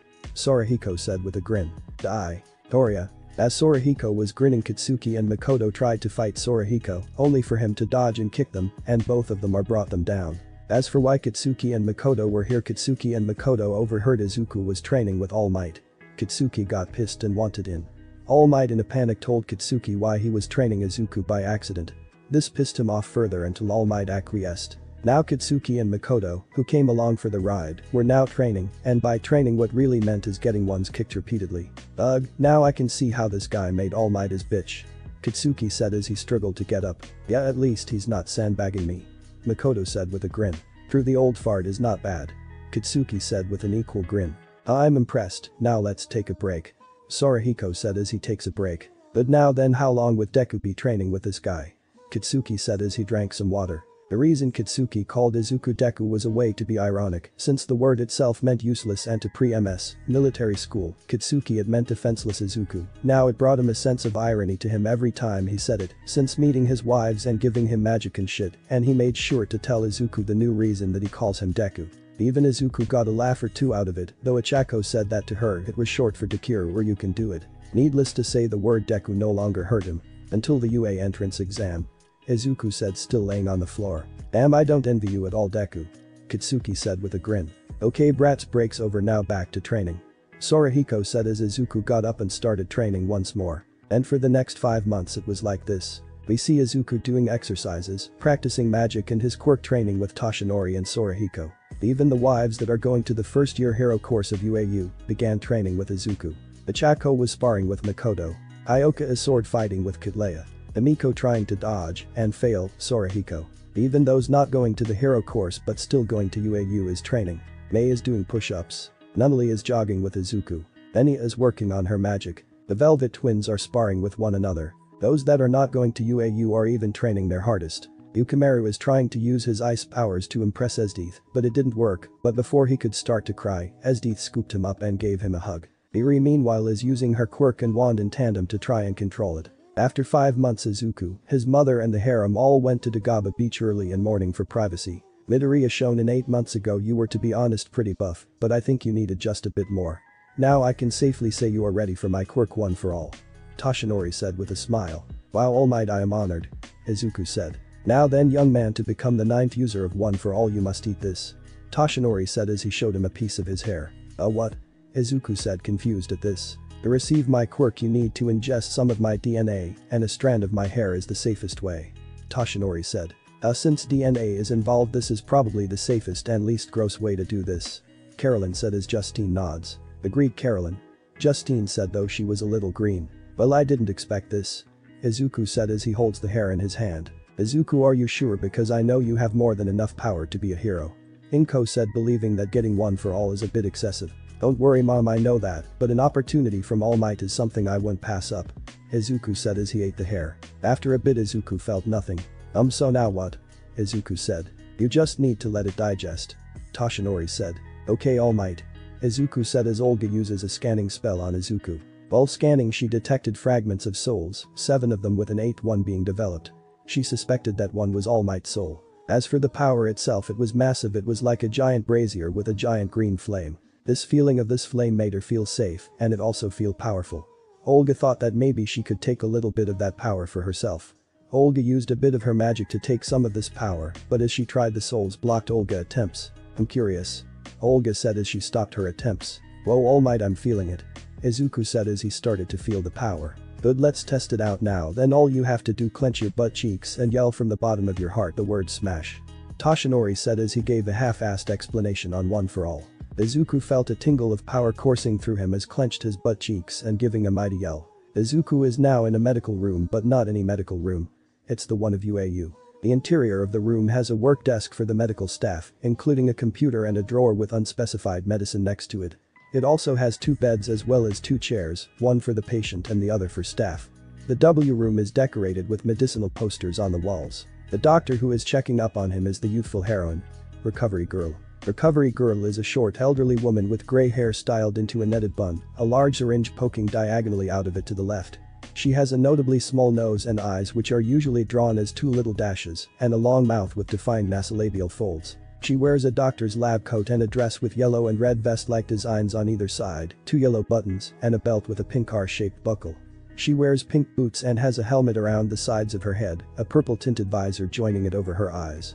In addition, she walks with a cane designed like a syringe that she can also use for healing the injured. And right now she is shaking her head. But grief Toshinori what on earth were you think for improperly teaching your successor on how to use one for all? I'll hit you with my cane, but I think Ms. Midoriya and those girls already did that for me. Recovery girl said with a frown. All Might is on another bed wrapped in bandages with Inko watching him like a hawk. Well at least my lung and stomach are back to normal thanks to Eri Shoho, so I'll say it was worth it Chiyo-sensei. All Might said with his trademark grin. The now named Chiyo facepalmed at that, but sighed as she couldn't refute that. From what he and Midoriya told her Eri's quirk also known as Rewind, regressed Toshinori's body about 5 or 10 years back, thus restoring All Might back to his prime. only for Midoriya's mother Inko to finish what the young man's harem started. I suppose that's good I've informed Nezu and Gran Torino about what happened. Chiyo said. Girls I'm okay. Izuku said as his harem is giving him some TLC. The harem ignores him and give them their care. I hope that young man knows about protection. Chiyo said. Izuku heard her and turned his head to face her. Trust me my mom and Florence warned me about STDs and how to prevent them. Izuku said. Oh good and if any of you girls are going to UAU we provide free IUDs. Chiyo said making the girls that are going to UAU blushed and nodded. The door opened revealing four figures. The first person is a tall young man with a very muscular build who possesses a number of noticeable scars around his lower arms. His face is very unique due to his blue oval-shaped eyes, drawn in a simplistic style with no visible sclera, and nose which is prominently rounder than most others. He has blonde hair, the top part of which is arranged in a cowlick, while the bottom section is worn swept backward. He wears a school uniform, he dresses like most of the male students, without the blazer. He wears a belt with a large rectangular golden buckle in the shape of a carnivorous mouth. The second person was a tall, lean but muscular man with rather sharp and elongated features. His shiny hair was always worn smooth down and parted to his left and was of a dark green color with three yellow streaks towards the front, two on his right and one on his left. His eyebrows were also yellowish, matching the rims of the triangular glasses he wore and the strikingly bright yellow irises of his stern-looking eyes. His looks gave off a sense of authority and power as he rarely smiled and looked stern and he always appeared to be glaring. Unusually for a pro hero, he prefers plain office clothes, a plain white suit with gold buttons, a white dress shirt, and a red tie with white dots, instead of an elaborate hero costume. His clothes, however, seem to be quite durable, as he used them during battles, and they didn't show any sign of damage or tearing. The third person is a stout man who appears to be a possible combination of several different animals, including a dog, a mouse, and a bear, which would make him a chimera. He has the head of a mouse with circular black eyes, a large scar over the right one, and relatively rectangular shaped ears with pale pink insides slanting outwards from the top of his head and an elongated muzzle with a small round nose. His fur is white and has large dog-like paws with pink pads and a thin tail like that of a cat. He sports a white dress shirt, a dark red tie around his neck, a black double-ed waistcoat and matching dress pants. He wears orange lace-up sneakers with incredibly thick soles, which seem to be quite large on him. And the last one is Gran Torino. That's right. It's me, Nezu, the one who could be a dog or a mouse or a bear, but more importantly I'm the dean of UAU. Nezu said. We came as fast as we could. Gran Torino said as he breathed every word. But Lord Sorahiko calmed down. Chiyo said as Sorahiko did just that. I'm fine Chiyo though I think Mirai is broken. Sorahiko said as he chuckled. Mirai just looked at All Might. Dumbfounded at what he is seeing. Toshinori is that you? Mirai asked. It's me Mirai or is it Sir Nighteye now? All Might said. Yeah it's me All Might. Mirai said as he chuckled. Present day. After that tearful reunion and a small argument about Izuku to which his, hopefully, future senpai Mirio told Mirai that he didn't want one for all, that he wanted to be a hero with his own power, and the baleful glares of his harem finally made him shut up. Now he's about to take the first step towards his goal to be a pro hero. Until his trips on a stone that is sticking out. Well that's one hell of a way to start. Izuku thought as he fell. Until he feels a familiar floating sensation. Oh thanks for that Ichako. Izuku said as Ichako gets him straight up. She turns off her quirk and the two of them goes to the exam. High Auditorium, everyone was in the auditorium engaging in idle chatter Izuku was next to Katsuki. It was awesome. And then he saw him at the center of the stage. It was the voice hero. Present Mic. Present Mic is a tall, slim man with long blonde hair, which he wears spiked upwards in a huge tuft behind his head, and a small brown mustache. He has rectangular eyes with concentric greenish yellow pupils, red in the manga, and he is almost always seen with a large smile on his face and has never been seen drawn with nostrils. His hero costume consists of a black jacket with a very tall collar, upturned and complete with studs, and matching black pants and knee-high boots. He sports tan shoulder pads and a red belt and elbow pads, all studded, and black fingerless gloves. His neck is always obscured by a directional speaker which he uses with his quirk, he always wears a pair of headphones with the word Hage written on the headband and a pair of orange tinted shades. Everyone say hey. Present Mic shouted. All he got was silence. Geez tough crowd. Anyway let's get started with the explanation of the practical exam. Present Mic said as he explained how the exam worked but it consisted of beating the shit out of some robots which are marked with points, and whoever gets the most points will get one of the coveted spots for UA High Hero course. One guy with blue hair and glasses tried to interrupt, but a glare from Present Mic shuts him up and provides to explain the zero-pointer obstacle. Okay that covers the bases now in the past we used to tell future students about additional points upon getting their letters, but due to recent law changes and lawsuits against us and yes we were sued and we lose badly.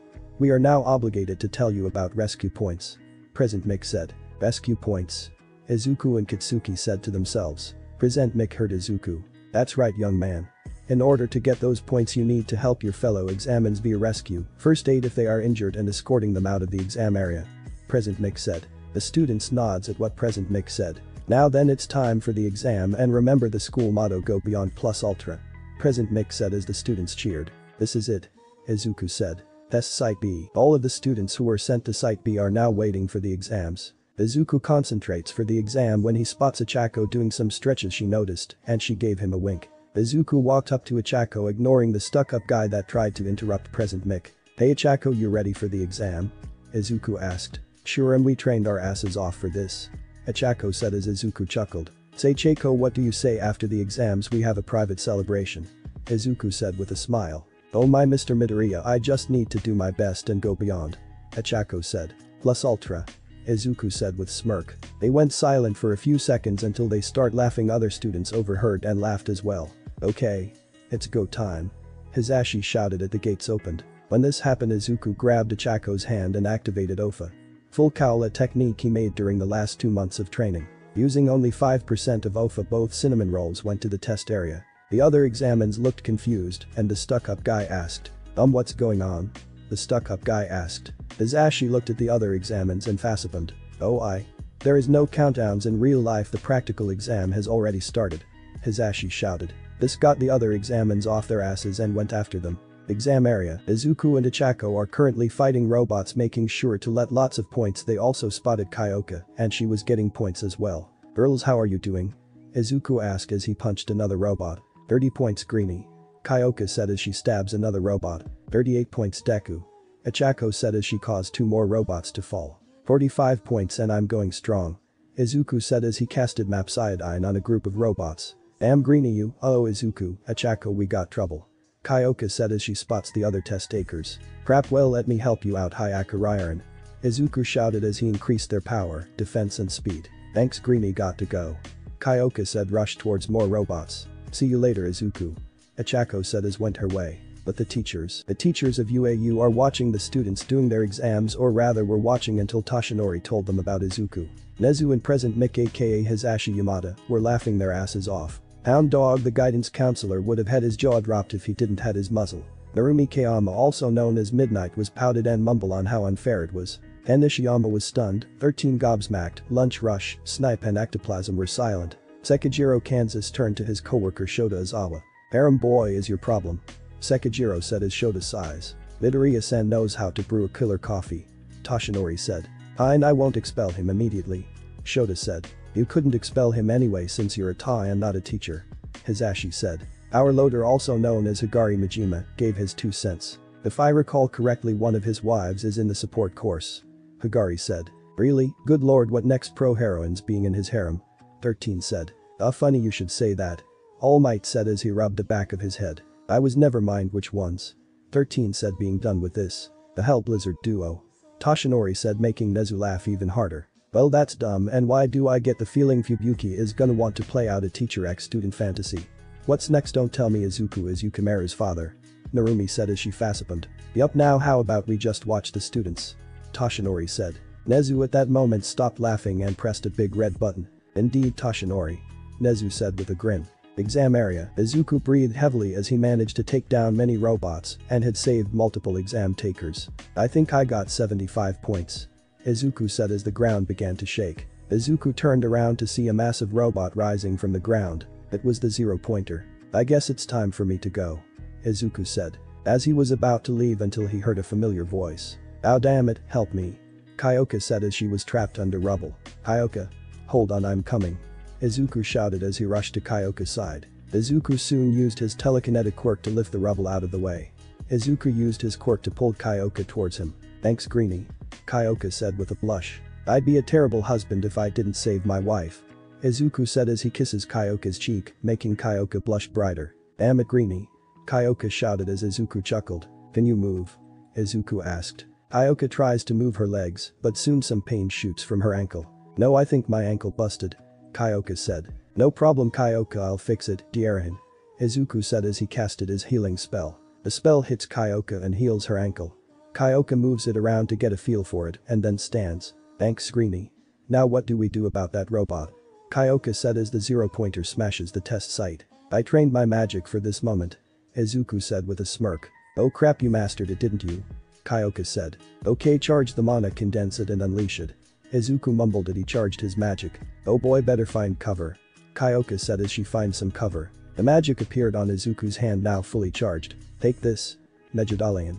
Izuku shouted as he fired his spell. The spell hits the zero pointer, thus destroying it. Time's up. Hizashi shouted announcing that the exam is over. Okay the exam is over let's meet up with the Chako okay Kyoka. Izuku said as Kyoka nods. The stuck-up guy just looked at Izuku and muttered about how he obtained a lot of rescue points. A week later, a week has passed since the exam, and Izuku was waiting for the letter. I'm kind of nervous right now mom. Izuku as he waits for the letter. I'm sure it will be fine sweetie. Inko said. You're right though I haven't heard from Fubuki in a while. Izuku said wondering where Fubuki is. I'm sure Fubuki is fine. Inko said as knock came from the door. Inko went to the door and saw an envelope from UAU. Oh Izuku. The letter is here. Inko said as she holds the letter of UAU. Alright then. Izuku said as he opens the letter where a hologram of Fubuki appeared. Hey there sweetie if you got this letter that means you passed as to how you passed well, the 75 villain points was just enough to get you into the hero course.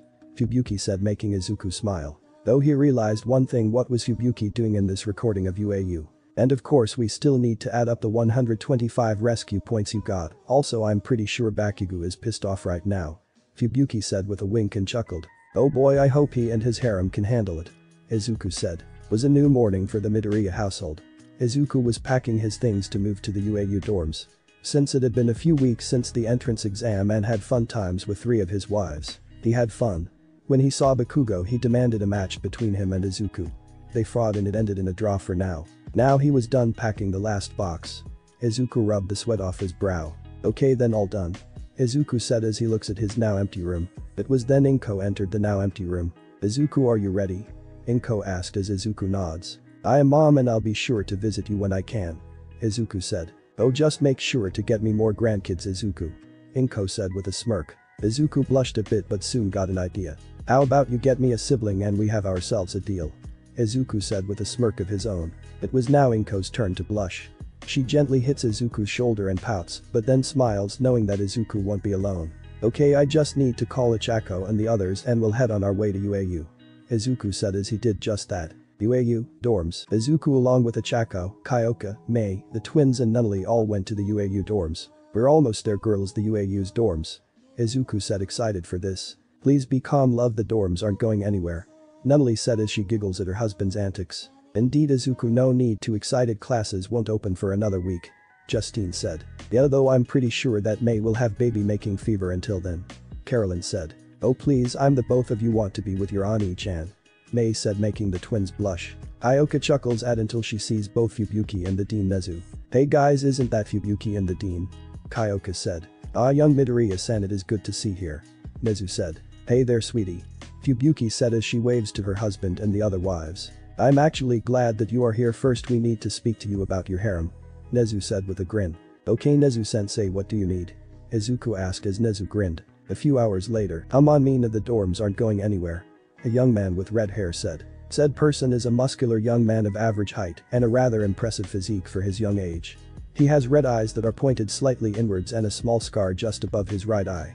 He also has small eyebrows and very pointed teeth. His hair is somewhat long, dyed a bright red, and spiked away from his head at all angles with gel, two more pronounced tufts spiked on either side of his forehead like little horns. This lofty style takes a full 3 minutes to set. During school, he wears the normal UA uniform, just with dark red trainers, instead of the usual brown dress shoes. Kiri I want to meet the other hero students. Mina cheerfully said. Mina is a girl of medium height, possibly said a little more broadly than some of her other female classmates, with healthy thighs. Due to her quirk, her skin is a light shade of pink, and she has somewhat square-shaped eyes, with a black sclera and light yellow irises, and notably long eyelashes below and around the sides of her eyes. Her face is framed by short hair, fluffy and unruly, which is a pink color, slightly darker than her skin's.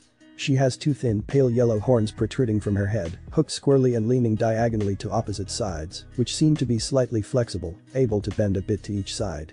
She wears the normal female UA uniform. Mina we might be the first ones here. Eijiro said. Eh true but still I want to see our new classmates.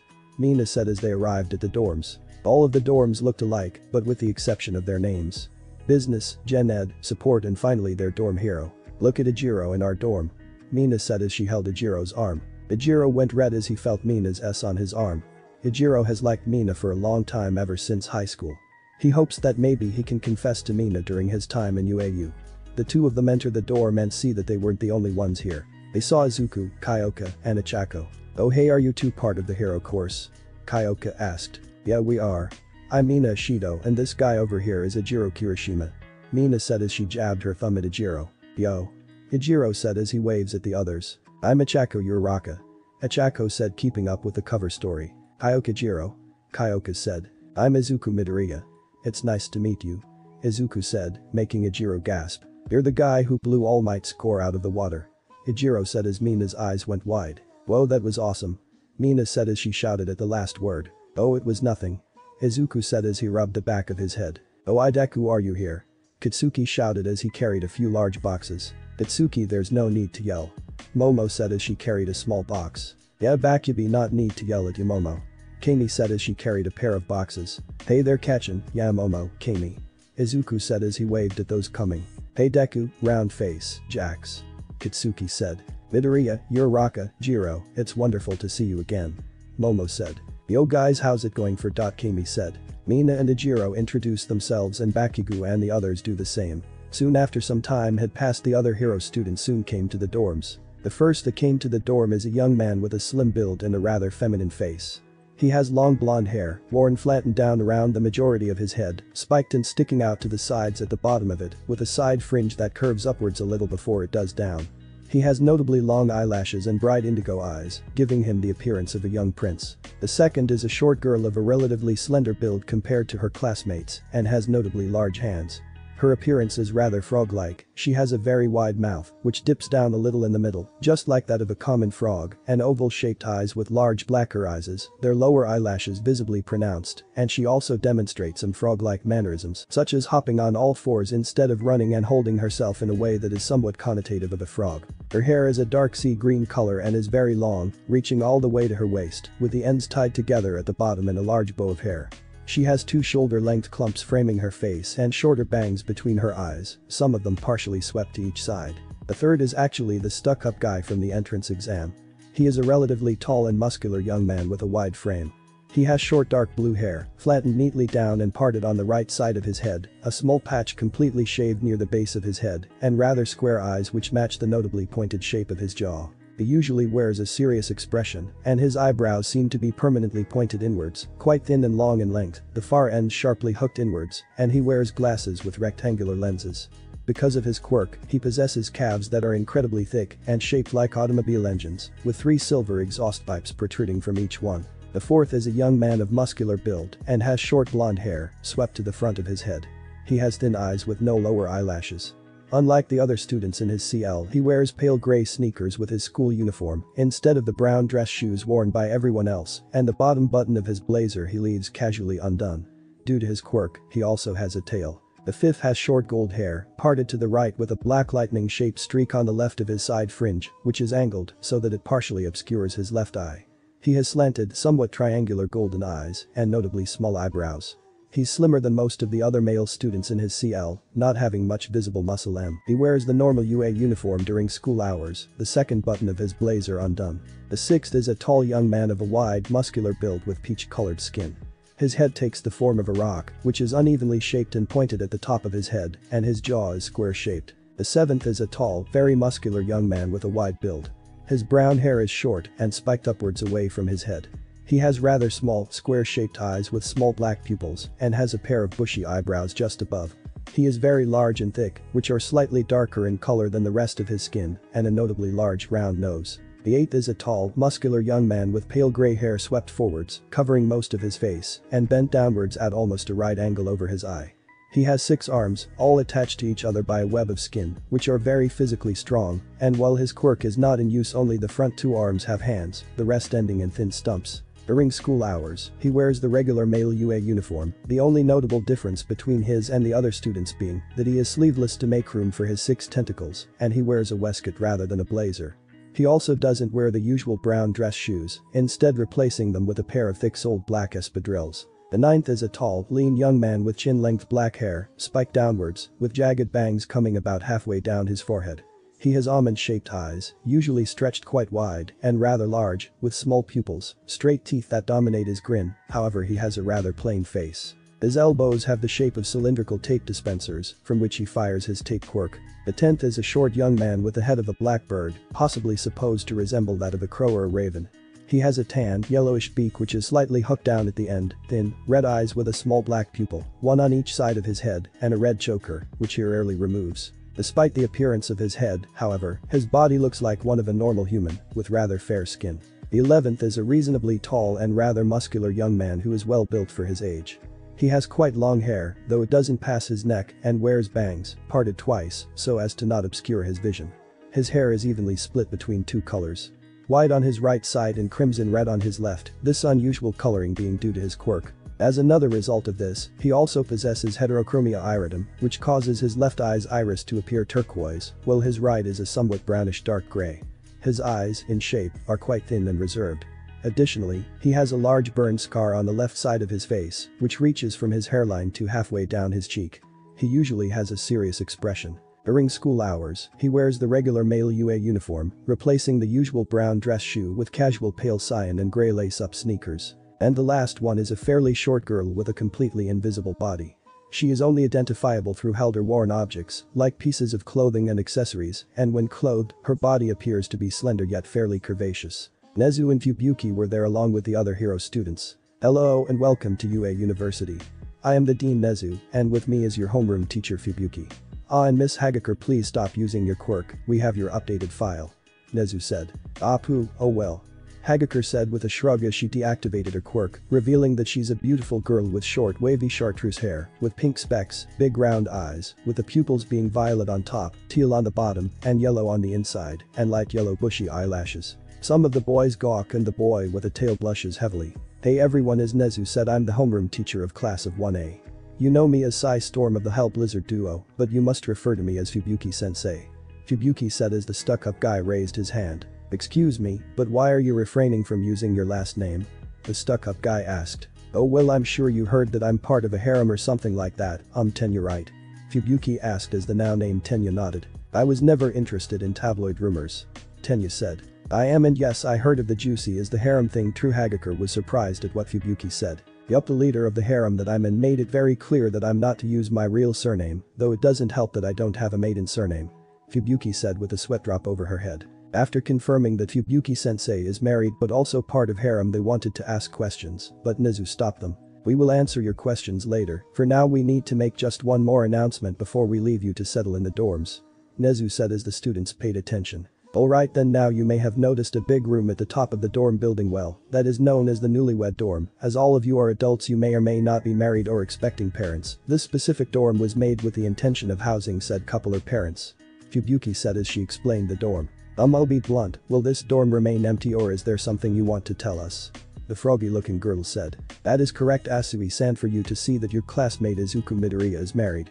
Nezu said as he dropped the bomb. Everyone was silent about this until they shouted. Wait what Izuku is married the other dorm mates, except for Ochako, Kyoka, Momo, Katsuki and Camie, shouted. Wait what, who told you? Izuku said as Nezu gives a. Izuku was now surrounded by his male class roommates with Bakugo being the exception. All of them wanted to know the same thing. How on earth did he get a harem? Midoriya said I'd like to know how you got a harem and if I recall polygamy is illegal. Tenya said as he chopped his arms. Dude, that law was abolished two centuries ago. After the old United Nations was destroyed. The name is Shinso Hitoshi. Hitoshi said. Hitoshi is a young man with messy indigo-colored hair that flares out in large tufts around his head and notably straight teeth. His eyes are purple with white pupils and are thin and somewhat triangular in shape, pointing downward, with no visible eyelashes. Wait what? Tenya said dumbfounded. Yeah everyone knows that the polygamy law stopped being a thing after the world's population dropped to the hundreds of thousands. Right Senator a young man said. You're correct, Yosetsu. The now named Sen said. Yosetsu has long black hair, spiked upwards and backward to his left, and rounded grey eyes, tilted inwards. He wears a wide zigzag patterned headband around his forehead, pulled down quite low, to keep his hair out of his eyes. Sen is a young man of medium height with dark shaggy hair and dark eyes, which are rather thin and lazy looking. He seems to have a modest athletic build, the same as most of his classmates, and a slight tan. Who cares if a fluffy boy has a bunch of chicks flocking at him? A mantis boy said. Oh bite me bug boy. Katsuki said as he used his quirk. I'm Kamakiri Togaru, the now named Togaru said. Togaru is a tall, slender young man with pale yellow-green skin and a bright fluffy green mohawk. His dark green eyes are pointed downwards to the center of his face, and two hooked blades jut out from either of his cheeks. He has no visible nose, and the shape of his head resembles that of praying mantis with mandibles. Who cares ass? So what if Deku has a harem? I have one too. Katsuki said as he outed himself. Wait, you have harem as well. I'm Kuroiro Shihai by the way. A black-skinned young man said. Shihai is a tall young man with fluffy white hair and black eyes, which are long and thin in shape. His most prominent feature is his pitch black skin, its unusual color most likely due to the quirk he possesses, and his face usually holds an unsure or irritated expression. Ah dot screw it, yes I have a harem. Not of my choice of course. Katsuki said. Why do you say that? A bestial young man asked. I wanted to wait until after college and until I'm financially solvent. Before I start looking for a girl. Katsuki said. Tenya and the bestial young man had the same thought. At least he has his priorities straight. Tenya and the bestial young man thought. Um I'm Shishida Jurota Midoriya-san. The now named Jurota said. Jurota is a tall young man with a very beastly appearance. He has shaggy brown hair covering most of his body. He has sharp teeth, and his large jaw sticks out a fair amount, with two of his lower canines poking upwards from between his dot. He also wears small, rectangular glasses with thick black lenses. It's nice to meet you Shishida-san. Izuku said as the two of them shook hands. I'm Shoten Nirengeki Midoriya-san. Nirengeki said. Nirengeki is a chubby young man of average height, with short ice blue hair and a round face. He has large wide eyes with small pupils, and is usually seen looking a little sheepish and apologetic, his eyebrows are almost always pointed upwards. I'm Tsuburaba Kosei so do you have a photo of your wives? Also how many do you have, three or five? Kosei said with a perverted grin. Kosei is a young man with short brown hair, spiked up at odd angles on his head. His eyes are oval shaped, along with his large pupils. Um, 15. I have 15 wives. Izuku said. Silence sat upon them as they heard how many women Izuku married. I'm sorry, but did you say you have 15 wives?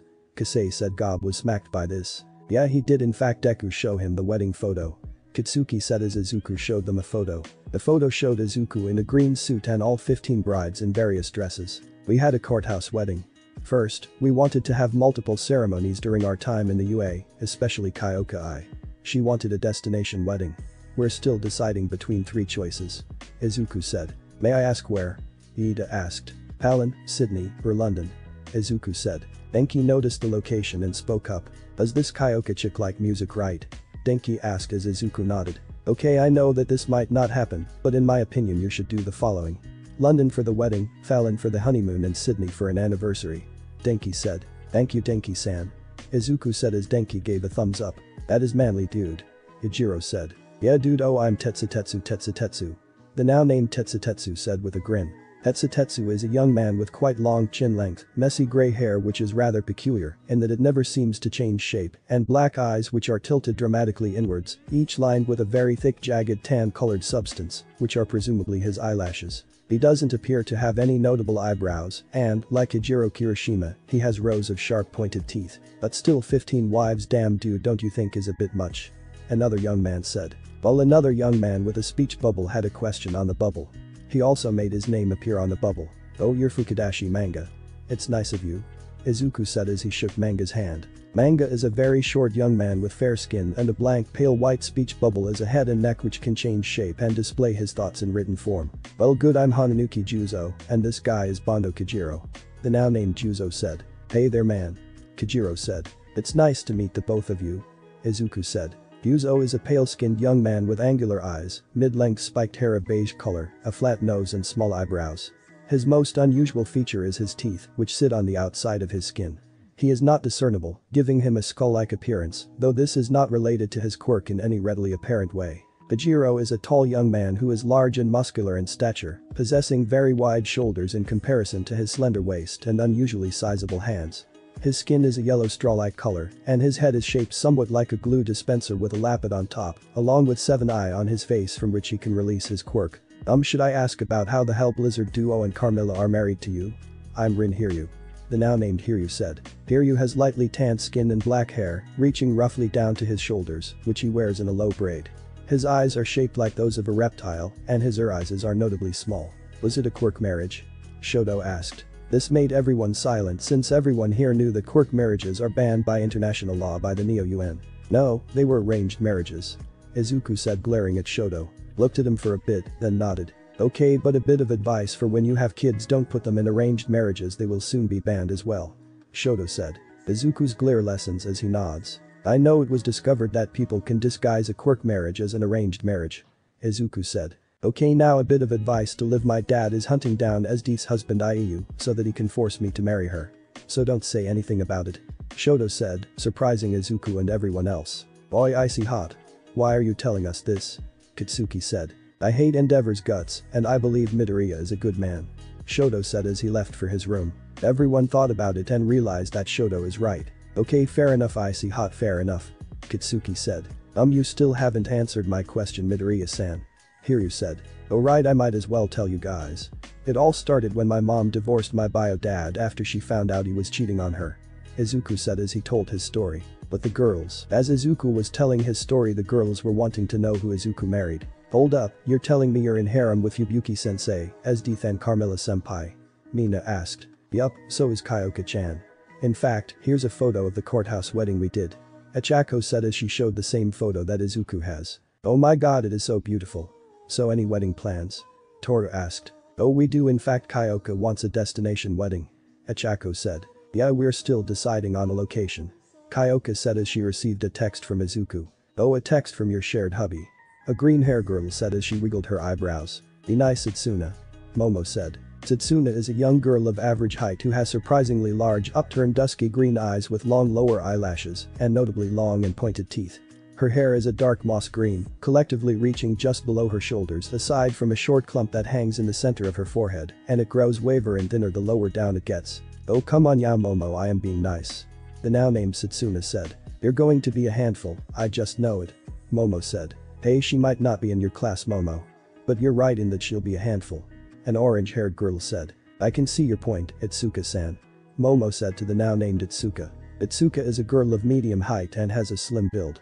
She has teal eyes and long orange hair that she typically wears tied into a high ponytail on the left side of her head. Her bangs are split into three clumps around her eyes, and some of her hair sticks up in large tufts at the top of her head. So have you done it with Izuku? Mina said with a grin. Yup we had our first time a few years back and more recently when we got our results. Ochako said with a grin of her own. Through oh god when he did us in tandem with Quirk God that was awesome. Kyoka said as she drooled a bit. This caused the other girls to blush while the vine-haired girl was red in anger. Do not besmirch the Lord's name and have premarital relations. That is just sinful. A vine-haired girl said. Joke's on you Ibara we were married at that time. Kyoka said with a smirk. The bar is a girl of medium height with green thorn-covered vines for hair, one set wrapped around her forehead a couple of times in the shape of a cross. Because of her quirk, she can grow them at will, but she likes to keep her vines at a reasonably manageable length. Just above her waist. Her eyes are squinted and dark green with long lower eyelashes. I see Jiro-san, Uraraka-san. I apologize then. The now named Ibara said. It's alright Shiozaki-san. Ochako said. Anyway the text said that we now have a location, and it's London. Kyoka said, squealing. Huh, the birthplace and capital of rock and roll is nice. Hey Yui right, would that be a cool idea for a wedding? Setsuna said. Yui is a young girl with shoulder-length bob-shaped hair, side swept to her right with some shorter strands hanging above her eyes. She has fair skin, an athletic build, cerulean eyes, and she's usually seen wearing a neutral expression on her face. Yui simply nodded at the idea with a smile. Cool when we get a date for the wedding we'll let you know. Kyoka said. Say I have to ask who else is in the harem besides the Hell Blizzard duo, Carmilla, Ochako and Kyoka. The mushroom girl asked. Yeah? Who harem in? A horn girl said in broken Japanese. Um Kinoko, pony we already know who's in the harem with the photo Ochako showed us. Itsuka said. Kinoko is a short girl of a rather thin build, with honey brown hair, curved inwards in a mushroom-shaped bob that reaches just below her narrow shoulders. She has a long fringe that completely covers her eyes, hiding most of her face, and her mouth is notably large. Unobscured, her eyes are wide and rather cat-like, tilted inwards with rather long lower eyelashes, and her eyes are warm brown color. Kinoko's pupils are little black crosses, both together highly resembling the caps of cross-sliced shiitake mushrooms. Pony is a short girl with a round face and a short equine muzzle, her face framed by thick wavy blonde hair which reaches halfway down her back, some shorter bangs hanging down her forehead. Her eyes are large and round, Prussian blue in color, and she has a pair of tall, lyre-shaped pale tan horns on her head. Her calves are notably rounded, shaped similarly to those of a horse, and she has brown hooves for feet and a short horse tail poking out from the end of her tailbone. We know what they look like but not their names. Kinoko said. Name us, tell me please. Pony said. Okay note to self, tell Honenuki Santa tutor Pony in Japanese. Momo said. Yeah like for some reason I can see some tricking Pony into saying insults. Camie said. Meanwhile with said, "But you, Who's talking about me, probably some from the USA. The said. Back the UA dorms, that would be wise. A ghost girl said. Yeah, it would be nice, Yanagi-san. Itsuka said. Call me Ryuko. The now named Ryuko said. Ryuko has chin-length pale gray hair, parted to the left, hanging down over her eye and obscuring the majority of the left side of her face. She has dark bags under her blue eyes and a small mouth. Her hands are usually held up as high as her elbows, with her hands draped down, this gesture being somewhat connotative of a ghost. Alright Ryuko, so are any of them in the USA. Besides Fubuki-sensei and Carmilla-senpai. Itsuka asked. Well I know Mei is in the support course while Nunnally is in the business course. Ochako said. Emiko, which is Carmilla's real name by the way, is in her second year of the hero course. The twins Carolyn and Justine are in Gen Ed. Kyoka said. Those who are in the USA as for the others. I know Esdeath is managing her agency, Benia is in a prep school called Kuo Academy, along with Anil. Ochako said. I know that Florence is the head doctor of the nearby hospital. Momo said. Cerebella is a bouncer at a local club last I heard she beat the shit out of a villain with her quirk vice versa last week. Camie said as she lied about Cerebella having a quirk. Inoka and Ariga are visiting their homes for a bit, well so yeah that's all of them. Kyoka said.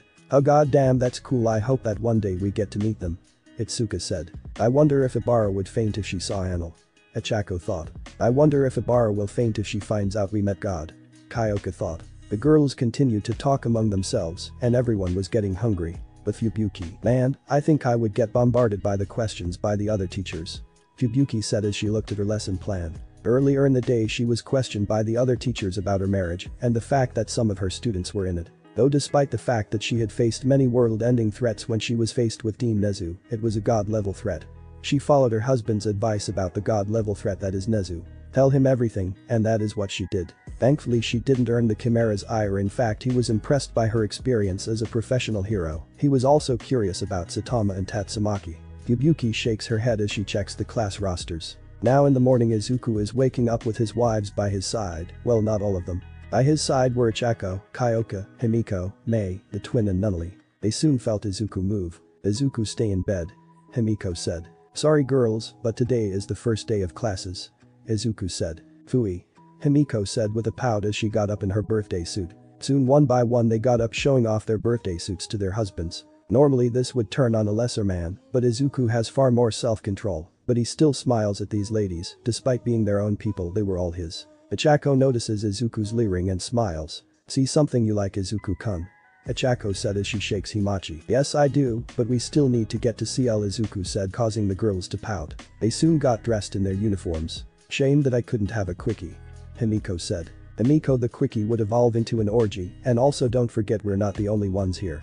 Nunnally said. I know about Bakugo, in fact I know that Momo and Camie want some action, and their husband isn't giving it to them.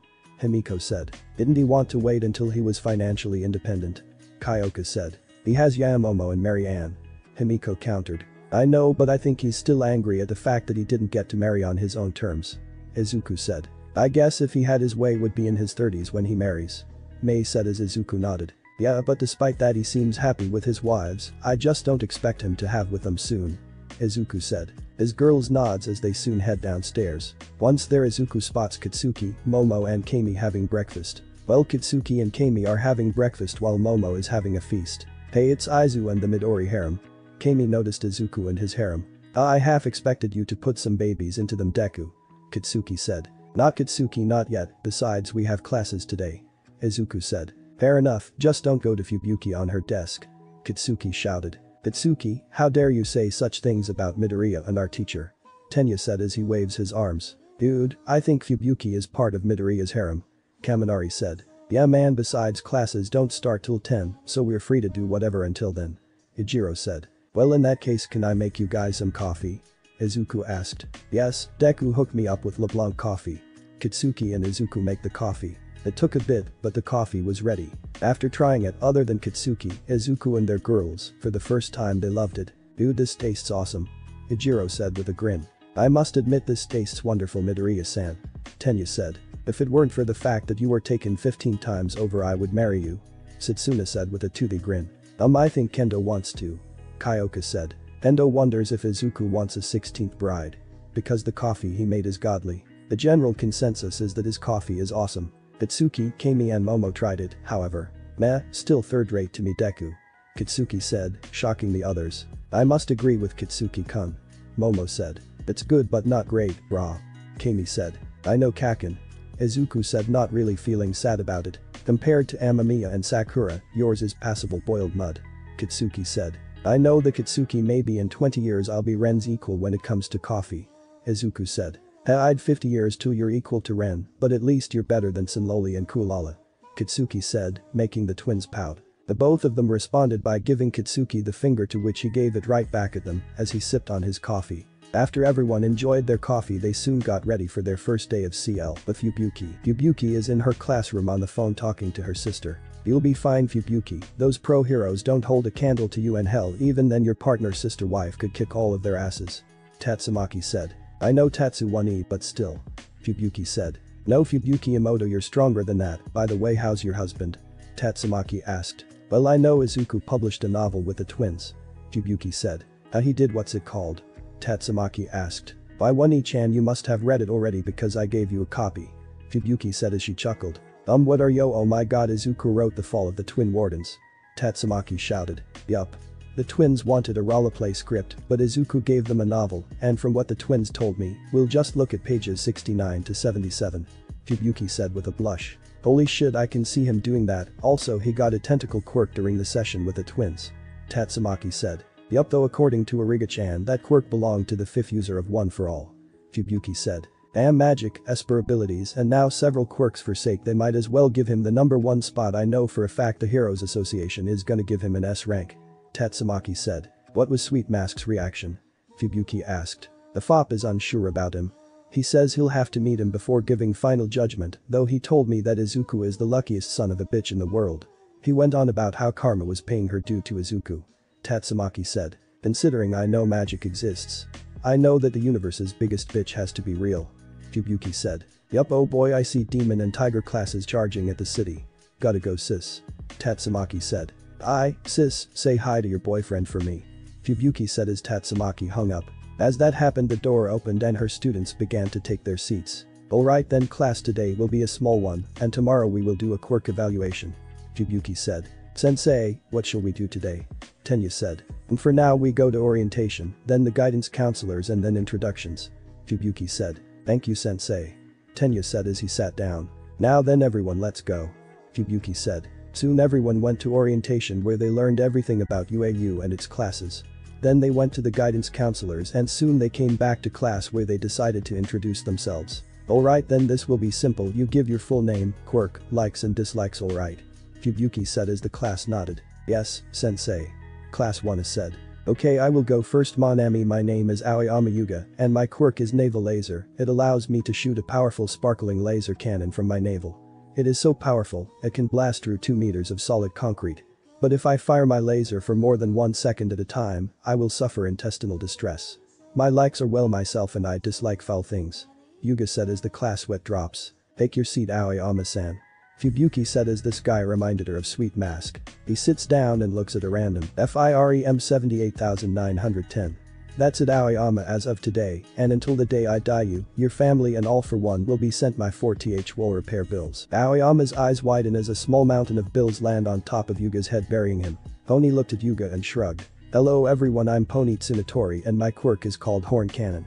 My quirk gives me a pair of horns on my head. I'm able to launch my horns as projectiles and a new set will grow back almost immediately. I can remotely control up to four of them at a time. I love an I'm and apples and I dislike bullies. Pony said as she went back to her seat. Tsuyu got up next. I'm Asui Tsuyu, but you can call me Tsu. My quirk is frog, which is self-explanatory. I do what a frog does and I have the same weaknesses as one. I like jellies and the rainy season. Like Pony I hate bullies. Sai said as she sat down as Yuga dug himself out of the mountain of bills. Mind you repairs to fourth walls cost that much. Yuga said as he saw one of the bills only to be buried by more. Then he marches towards the front of the CL. Hello everyone I am Iida Tenya and my quirk is engine quirk gives him car-like engines in each of his calves, giving him incredible running speed and extreme kicking power. I need to fuel his engines by drinking orange juice. My engines have multiple gears, it is currently unknown how many, but it has been implied that there are more than three, and much like a real engine, my quirk requires that the exhaust pipes on the backs of his legs remain clear of obstructions in order to function properly. Tenya said. Tenya takes a breath then speaks again. I also like studying and beef stew. I despise misconduct. Thank you for your time. Tenya said as he went back to his seat. Ochako stood up and went in front of the CL. Hey guys I'm you I mean Midoriya Ochako, and yes I'm married, though I'm sure you know that, and my maiden name is Uraraka. I appreciate it if you use it during the festivals UAU has. Ochako said as the class nodded and Yuga gave a thumbs up. They knew about that since Nezu told them. The same was about class 2 well only Himiko was in that CL. Any who my quirk is called zero gravity gives me the power to nullify the effects of gravity on solid targets by touching them with the pads on her fingertips, causing them to become weightless and float. I'm able to cancel the effect of my quirk by touching my fingertips together. I also love starry skies and mochi. I don't really hate anything. Ochako said as she showed said finger pads. She soon went back to her seat as Mashirao went next. Hello I'm Ojiro Mashirao and my quirk is tail which like Sue's quirk is pretty self-explanatory. Oh I like martial arts and I dislike cheaters. Mashirao said as he went back to his seat. Denki gets up and winks at Abara as gets in the front of the CL. Hey guys I'm Kaminari Denki, my quirk is called electrification. It allows me to generate electricity and cover my body in it. I can also emit this energy over a distance, but I have little to no control over it, meaning it will go everywhere indiscriminately. Exceeding my wattage limit causes my brain to short circuit, leaving me in a vulnerable state for one hour. I can absorb and neutralize electricity and other lightning-based quirks. Denki said. Denki looks around and then blinks. I like burgers and what's currently trending. I dislike people who mock mental health since I have quirk-induced ADHD. Denki said as he went back to his seat. Hi guys I'm Tetsu Tetsu Tetsu and my quirk is called Steel, meaning I can turn myself into steel. I love fighting games and spinach. Tetsu said. But you also watch Popeye the Sailor Man? Setsuna said with a toothy grin. No, I hate racist things, and Popeye was racist as hell. Tetsutetsu said as he went back to his seat. Tetsutetsu looks at the pile where Yuga is buried. Um, is anyone gonna help him? Tetsutetsu said as he pointed at the pile of papers. We'll do it later. Kyoka said with a shrug. Tetsutetsu shrugged as he sat down. Koji gets up from his seat and whispers in Fubuki's ear that if she knows JSL, thankfully she nods. Okay class Koda-san here is a little shy, so he'll use JSL to tell us about himself, and I'll be translating okay. Fubuki said as the class nodded. Hello everyone my name is Koda Koji, and my quirk is called Anivoice, it gives me the ability to command any creature in the animal kingdom by speaking to them. Whatever command I gives, the animal will carry it out. However, I'm unable to exert control if they cannot hear my command. The target must also be a real animal and not merely animal-like. I can also exchange information with the animals to find the locations of various people and potential enemies faster. Koji signed. Fubuki translated what Koji had signed. I like nature but I hate bugs. Koji signed. Fubuki translated the likes and dislikes as Koji went back to his seat. Sato Rikido here and my quirk is called Sugar Rush. It allows me to increase my strength fivefold for 3 minutes. To do this I need to consume 10 grams of sugar. When converting sugar into strength, my cognitive functions gradually drop, making me very sleepy afterward. For every additional 10 grams of sugar I ingest, I can extend the time of increased strength by another 3 minutes. Rikido said. Rikido looks at the class and Fubuki staring at him. Oh right and no I can't have diabetes trust me they tried. I also love cake and hate ruined baked goods. Rikido said. Rikido sat back down as Mezo stood up as he went next. Hello everyone my name is Shoji Mezo, and my quirk is called Dupli Arms, it grants me a set of tentacles alongside my arms. I can transform the tips of these tentacles to replicate other parts of my body, for example a mouth, ears, eyes. The duplicated body parts are more efficient than the originals, as a result, I'm able to hear better, see through more angles at a time, and they grant me a much higher degree of strength. I also like squid ink pasta and takoyaki. I hate people who belittle mutation quirks. Mezo said. Here, here Mezo-chan. Sai said. Mezo went back to his seat as Kyoka stood up but blew a kiss at Izuku. Izuku caught it and Ochako chuckled with a blush on her face. Yo, I'm Midoriya Kyoka, my maiden name is Jiro, and my quirk is earphone jack. My quirk gives a pair of headphone jacks hanging from my earlobes. When my jacks are plugged into something, I can channel the sound of my heartbeat through them in the form of a violent vibration attack. I can also stretch them for several meters. This quirk also allows me to hear minuscule sounds and vibrations from my surroundings. I like rock and roll, my husband, kids and I hated, Kyoka said. Kyoka went back to her seat as Ibara stood up. Hello everyone I am Shiozaki Ibara and quirk is called vines. My quirk gives me hair-like vines that grow on my head. I can lengthen and manipulate the vines, allowing me to attack, defend and grapple. I also have the ability to detach them at will. The vines will grow back, provided that I give my head proper sunlight and water. I enjoy good bread and I despise lecherous people. Ibara said as she looked at Izuku. Izuku felt nervous while Ochako and Kyoka glared at Ibara. Alright then I'm Tokoyami Fumikage, and my Kwai. Fumikage started to speak until he was interrupted. Is a dark shadow. Basically I'm a sentient quirk that gets stronger when it gets dark and weaker when there is light, and I identify with she her pronouns. Dark Shadow said. Yes what she said I like apples and gloomy places and hate bullies. Fumikage said as he went back to his seat. Got up and spoke. I'm Todoroki Shoto, and my quirk is half cold half hot. Simply my right side makes ice and my left side makes fire. I like Zarusoba and I hate Endeavor. Shoto said as he went back to his seat. Not much I guess. Fubuki said as Toru stood up. Hi everyone I'm Hagakure Toru, and my quirk is light refraction. It allows me to refract light, redirect light and make me invisible. I also love caramels and Dokkiri shows. Toru said. Okay I guess I'll go next. Itsuka said. Itsuka walked towards the front. I'm Kendo Itsuka and my quirk is called Big Fist. It grants me the power to enlarge both of my hands to a gigantic size. With their increased size comes enhanced striking power and gripping capabilities. I like black coffee and motorcycles. Also I'm really jealous of Ochako and Kyoka. Itsuka said with no bite. The two said girls chuckled at that as Itsuka went back to her seat and Izuku got up. Izuku took a deep breath as he spoke. I'm Midoriya Izuku and my quirks, yes quirks and they're called magic, superpower and telekinesis. The first one is magic which allows me energy for multiple effects like fighting, boasting their own power and others and healing. Telekinesis is like Tsu, and Ojiro sense said it's self-explanatory. Finally superpower is a stockpiling power that allows me to strike with powerful strike, but if I use too much I would break my bones. Izuku explained. Holy shit. Setsuna said. Ah how Denki asked. Well I was quirkless for the majority of my life. I unlocked magic at 13, telekinesis at 15 and superpower at 17. I love my wives, children, Katsudon and coffee from LeBlanc Cafe. I hate those who oppress the quirkless. Izuku said. So any pictures of your kids? Toru asked. After class Hagakure-san. Fubuki said. Hi Midoriya-sensei. Toru said. Shinso-san please stand up. Fubuki said. Hitoshi stood up and went to the front of the CL. Hello I'm Shinso Hitoshi and my quirk is called brainwashing. Hitoshi said as he awaits the comments on how his quirk is villainous. As he closes his eyes and braced himself he hears nothing. Uh no comments about my quirk being villainous. Hitoshi asked. Um Hitoshi one of my wives has a quirk that lets transform into people by drinking blood, I'd be a hypocrite if I gave you grief over your quirk. Izuku said. Okay considering what you told us about your previous quirklessness I don't blame you. Hitoshi said. Yeah and a lot of us hates bullies. Sai said as several others nod. Oh right well anyway I like biking and cats.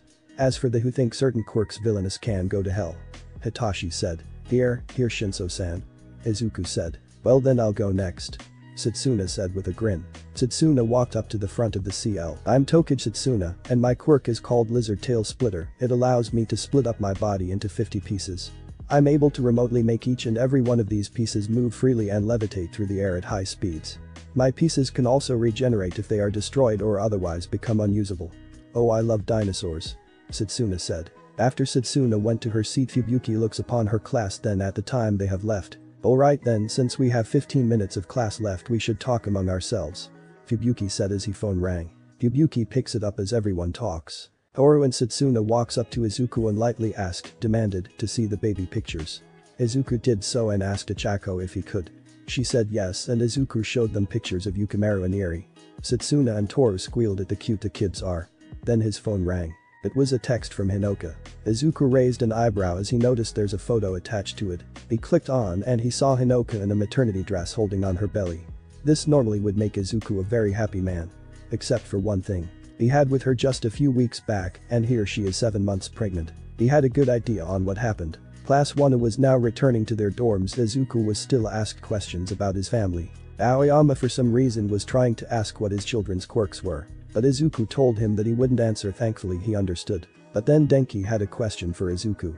Say Izuku how did your wives get used to you?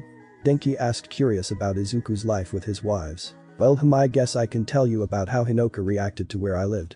For context, she lives deep and I mean deep in the countryside. Izuku said not knowing how to explain that Hinoka was from another dimension where she was a feudal princess. Who'll tell us? Setsuna asked wanting to hear about it. Yeah. Toru said. The Chako and Kyoka know about it. Well, it was a few years back. Three to be exact Hinoka came to the apartment.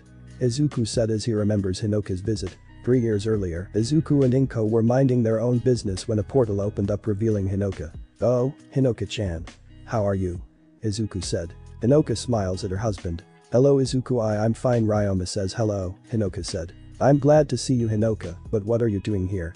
Inko asked. Oh, I was just wondering about the world my husband lives in. I was hoping that we can see it. Hinoka said. Oh, sure I'd like that so at what time do you want to go? Izuku said. Um have you two had eaten yet? Hinoka asked. Oh we're just about to have lunch. We're having katsudon. Inko said as she offered the princess a bowl. Oh that's great. I'll have some. Hinoka said as the three of them had lunch. Soon after they had lunch, both husband and wife left the apartment to where Hinoka was surprised by the sights. The building, the technology, the similarities between Hoshidan and Japanese writing, and finally the quirks. From the emitter types to the mutation types. This world was surprising Hinoka more and more. Wow by the first dragons this is so big, Hinoka said amazed by this place. Yeah, there's a lot of places we can visit Hinoka-chan, Izuku said. Um, I really don't know about this place, but I think I may need to change my clothes. Hinoka said as she noticed the stare she getting. Oh, you're right let's go, Izuku said as they went to a nearby store. 30 minutes later, it took a half hour for Hinoka to buy some clothes, though it was not because of her it was because of the employee trying to make her buy the more expensive stuff. She did on the other hand buy stuff for Sakura, Elise, and Camilla. Well, Izuku did as she was warned against using her gold. As for what Hinoka got herself. It's a short-sleeved blouse with a sky blue and white stripe pattern, a long red skirt that almost reaches her ankles, a white sweater with long sleeves, a pair of red sneakers, and a red backpack. Well it's not the armor I'm used to but they will do for now, Hinoka said as she gives herself a once-over. Izuku blushed as he sees the clothes she picked. She looks adorable. So how about we look around the stores for a bit? Izuku said as Hinoka nods. As the two of them began to walk out of the store, Izuku thinks that visiting the arcade might be fun. So they did just that. Once they reached it Hinoka was a bit overwhelmed with all of the flashing lights, loud sounds and for some reason the smell of melted cheese. Both of them tried a bunch of games Hinoka lost in some of the games, except for the claw game where Hinoka won a rare prize. Wow, I wonder if Izuku would know about this, Hinoka said as she held a platinum statuette of All Might. In fact, she didn't even want that particular prize, she wanted the stuffed Kinshi and Pegasus. She did in the end get the plushies she wanted after emptying out the machine of the other plushies. The owner would have kicked them out had Hinoka not given the other plushies back to save the couple. He agreed if she told him what quirk she had. Going with the story she and Izuku made. She told him that she has a healing quirk which surprised him. I didn't expect it I just assumed you used your quirk to get the ultra rare platinum golden age all might statuette. The owner said. Sorry about that, I was after the Kinshi and Pegasus plushies, Hinoka said as she rubbed the back of her head. Well since you didn't cheat I guess you can keep the statue and the plushies. The owner said as he crossed his arms. Hinoka kept it along with several plushies. Izuku fainted at the sight of the statuette. After that, they shared a medium pizza. Hinoka loved the taste of pizza. Soon they left and the both of them loved their outing and they soon came back home. Present day. Oh, that was so cute, Setsuna said as she gushed at the cuteness. You happen to have pics of your date, Toru asked as Izuku showed the pics. Everyone cooed at the pictures. Well, I'm just glad she was happy about the impromptu date, Itsuka said with a smile. Now thinking about it, how did your dates with the other wives go? Saya bluntly asked. Izuku begins to think when he remembered another date he had. Oh there was the time I visited the club Cerebella worked at, Izuku said as begins recounting that story. Four years ago, Izuku was walking around the city carrying a bento. This bento belongs to Cerebella and she forgot about it. Now Izuku begins a diligent husband who decides to bring her lunch to her. Soon he sees the entrance of Cerebella's job. Club aces. Huh, I guess Cerebella found another card-based job. He sees a bouncer blocking the way and a long line. Rather than doing a stupid plan he simply asks the guy. Um excuse me I'm here to see Cerebella. Izuku nervously said. The item up. You Midoriya Izuku. The bouncer asked as Izuku nodded. Alright then go on and as Seer's husband you get two free drinks after that you need to pay for the rest.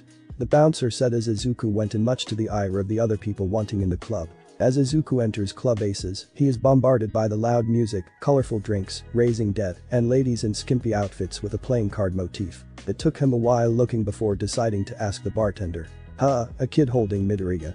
The bartender asked as he noticed Izuku. Yeah, I'm looking for Seer-chan, Izuku said. Ah she's in the back getting dressed so she might be there for a while, but until then have a drink. The bartender said. But I'm. Izuku started to wait until the bartender showed his hand. I'll keep mum about it. The bartender said. Two rums with coke please, Izuku said. The bartender serves Izuku his drinks. After having his drinks he spots Cerebella. Seer-chan. Izuku said as he walked toward his wife. Cerebella noticed Izuku and smiled. She rushes towards Izuku only to notice the box he has. Izuku what are you doing here? Cerebella asked. Oh you forgot your bento and I decided to bring it to you, Izuku said with a smile. Now thank Izu, Cerebella said as she kissed her husband. You're welcome, Sir-chan. By the way, this place is great. Um, I'm surprised that you picked this place. Izuku said. Yeah I know why you ask since well the last card-based job ended in disaster, Cerebella said with a shrug. Another employee noticed the couple. Hey, Bella, I heard about what you said. What's this about a card-based job? An employee asked. She told the employee about her time at the circus of cards. The employee nodded and left. Thanks again for bringing me lunch, Izuku. In fact, here's a reward for my hubby, Cerebella said as she gave Izuku a deep kiss. The two of them ignored the cheers of the crowd as they parted. Soon Izuku had to leave since Cerebella had to work, but Izuku was fine with that. Izuku smiled on his way home. Present day. Damn dude that's awesome also you drank booze hardcore, Denki said as he gave a double thumbs up. That is reprehensible, you were far too young to drink, Tenya said. That seems light to me. Pony said. Mom grounded me as soon as I got home. Hell, the bouncer told me that the offer extended to soft drinks as well. Izuku grumpily said. Izuku looks at the time and notices the time. Sorry guys, but I only have time for one more story before Hinoka comes, Izuku said. Wait Hinoka is coming here? Setsuna was surprised by this. Yeah one of her family traditions states that she has to stay with me while she's pregnant and before you blow a gasket Tenya san Nezu approves of Hinoka staying, Izuku said as Tenya puts his arms down. Alright then, Setsuna said. Just a heads up don't treat Hinoka as if she's made of glass, it won't end well, Izuku warned. Everyone nodded. But it won't be for another 15 minutes, so I guess I'll tell one more story, Izuku said. Oh, can you tell us about the one with the elf quirk, for some reason I recognize her, but I just can't put my finger on it. Denki said. Izuku went silent but then mumbled something. Well, they'd find out sooner or later, Izuku mumbled. He then looks at his class, but specifically his wives, Katsuki and his girls. They all nodded. Okay for context my wife's donors didn't like her at all, so they gave her a hurtful name, Izuku said. Everyone was nervous as Izuku said that. Sai, being herself, asked what that name was. Okay her given name is Olga, and her maiden name was Discordia, Izuku said as Denki became white as a ghost when he heard that name. Oh. Like as in? Denki asked, knowing what the answer was. Izuku nods. Yeah, like in Kuroinu, Izuku said as Denki apologized. Izuku says that it's okay, and that sooner or later they are going to find out. Tenya, being a sweet summer child, asks Denki what he is talking about. Enki answered and nobody in the class liked it. Rape hentai how the hell did it get past the National Review Board? Itsuka asked. It's a pre-quirk hentai that has a surprising fan base. Which are equal parts perverted and wanting to fix it via nuking the black dogs. Denki said. Isn't it a bit much? Tenya asked. The black dogs win in the end. Denki flatly said. Um, we need more nukes, Tenya said as he changed his tune. Yup had a feeling that would change his tune, Hitoshi said. As the class chatted about this Izuku remembers how Olga reacted after seeing Kuroinu five years ago. Five years ago, shock, horror, disgust, and myriad feelings swirled around Olga as she saw the ending of Kuroinu. Was this her future? She only clicked on the link out of curiosity. Wait no, it couldn't be she didn't see Izuku or the others as well. Was this from the future where Izuku died or maybe he never existed since this was made in the pre-quirk era? Izuku came in with some hot chocolate when he saw Olga crying and the title of the video she was watching. Izuku placed a hot chocolate on a nightstand and walked up to his queen and hugged her. After a few minutes, Olga talked about what she saw. After Izuku tells her the specifics and has an existential crisis. Olga begins to worry about Grain and tells Izuku as such. Izuku tells her to go and check as she opens a portal to Grain. It would be a week until Olga came back with a tired look and a small smile on her face. I bring news Izuku, Olga said, still smiling. Good or bad? Izuku asked. Both, the bad news is that Volt will try to make his empire, Olga said, making Izuku frown. What's the good news? Izuku asked. It won't happen for another three years, Olga said as Izuku's eyes went wide. That's amazing Olga, should we tell the others? Izuku said. Yes along with Hinoka for we will need the might of Hoshido, Olga said. Not only Hoshido but Nohr and Valla as well, Hinoka said as she came into the room. Along with the might of Britannia, Nunnally said, coming in with Hinoka. How much did you two hear?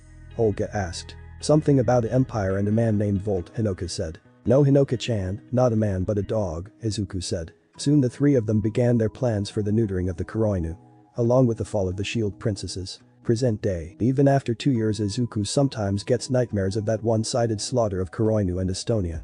Thankfully the love of his family and friends pulled him from a dark path. It kind of helped that they named him Hero of the Druchii and the Hero King of Grain. As to what happened to the Shield Princesses, that's a story for another day. As he thought about it someone knocked on the door. Tenya opened the door revealing a very pregnant Hinoka. Hello for those who don't know me, I'm Midoriya Hinoka. I'd bow but the little one won't let me.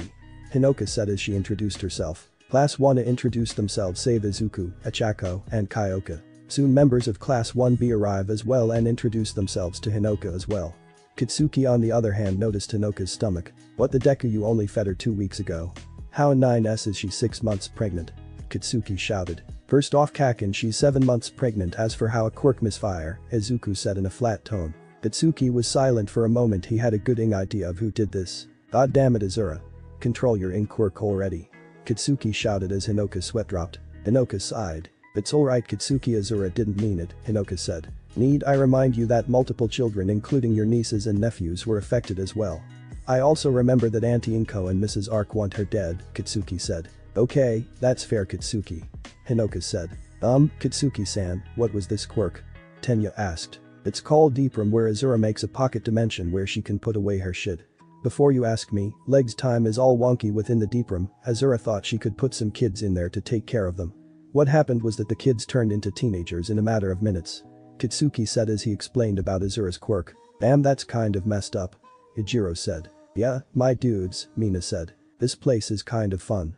Hinoka thought. Was another morning at the dorms where Izuku was sleeping with his newly, though accelerated, pregnant wife Hinoka. Izuku looks at his wife with a smile on his face. Though he is nervous he has experienced fatherhood before with Chloe, Yukimura and Eri. Despite the nervousness he's excited for his next child. Hinoka yawns as she wakes up and looks at her husband with a smile. Good morning Izuku. Hinoka said. Good morning to you as well Hinoka-chan, how's our little one? Izuku asked. At that moment Hinoka felt the baby kick. Oh the little one kicked. Hinoka said. With wide eyes he placed his hand on Hinoka's stomach and felt another kick. The little one is strong. Izuku said. Hopefully not too strong. I don't think my poor womb can take a one for all powered kick. Hinoka said with a light chuckle. Izuku smiled once again though that meant his mother is going to join the yearly Azura hunt. Again. Alright then I'll go make breakfast while you stay and rest. Izuku said. Thank you Izuku and make me those bacon pancakes in that one pre-quirk cartoon. Um, I think it was called Adventure Time. Hinoka said as Izuku turned on the TV for her. Izuku chuckled as he nodded. But Hinoka now watching TV Izuku went downstairs to make breakfast. As he made breakfast Denki noticed the smell. How Adventure Time bacon pancakes. Denki said as he tried to grab a piece only for a spatula to hit Denki's hand. No this is Hinoka's not yours. Izuku said as he continued to make breakfast. You didn't have to hit me. Denki said as he rubbed his injured hand. Well then Kaminari-san if you want bacon pancakes make them yourself. Izuku said. I know, I know Midoriya-san. But still they look so good. Denki said, drooling at the sight of the pancakes. Oni came into the kitchen when she smelled the bacon pancakes. Oh pancakes, are those for Hinoka? Pony asked as Izuku nodded. Yup she wanted bacon pancakes from Adventure Time. Izuku said as he placed the last pancake on the plate. Oh, any chance of making the perfect sandwich from the same show? Pony asked. Maybe if Hinoka asked. Izuku said. The both of them laughed as the other wives came in and kissed Izuku's cheeks. Tenya looks at the amount of PDA but stops himself.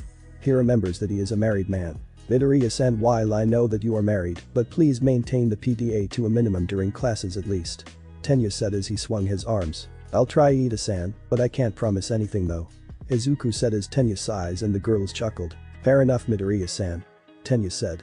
Izuku decides to make coffee for the CL. It was then that everyone of class 1 was attracted by the black gold that was Izuku Midoriya's coffee. Itsuka was groggy when she woke up, but after that she took a drink of Izuku's coffee. I can be Y16?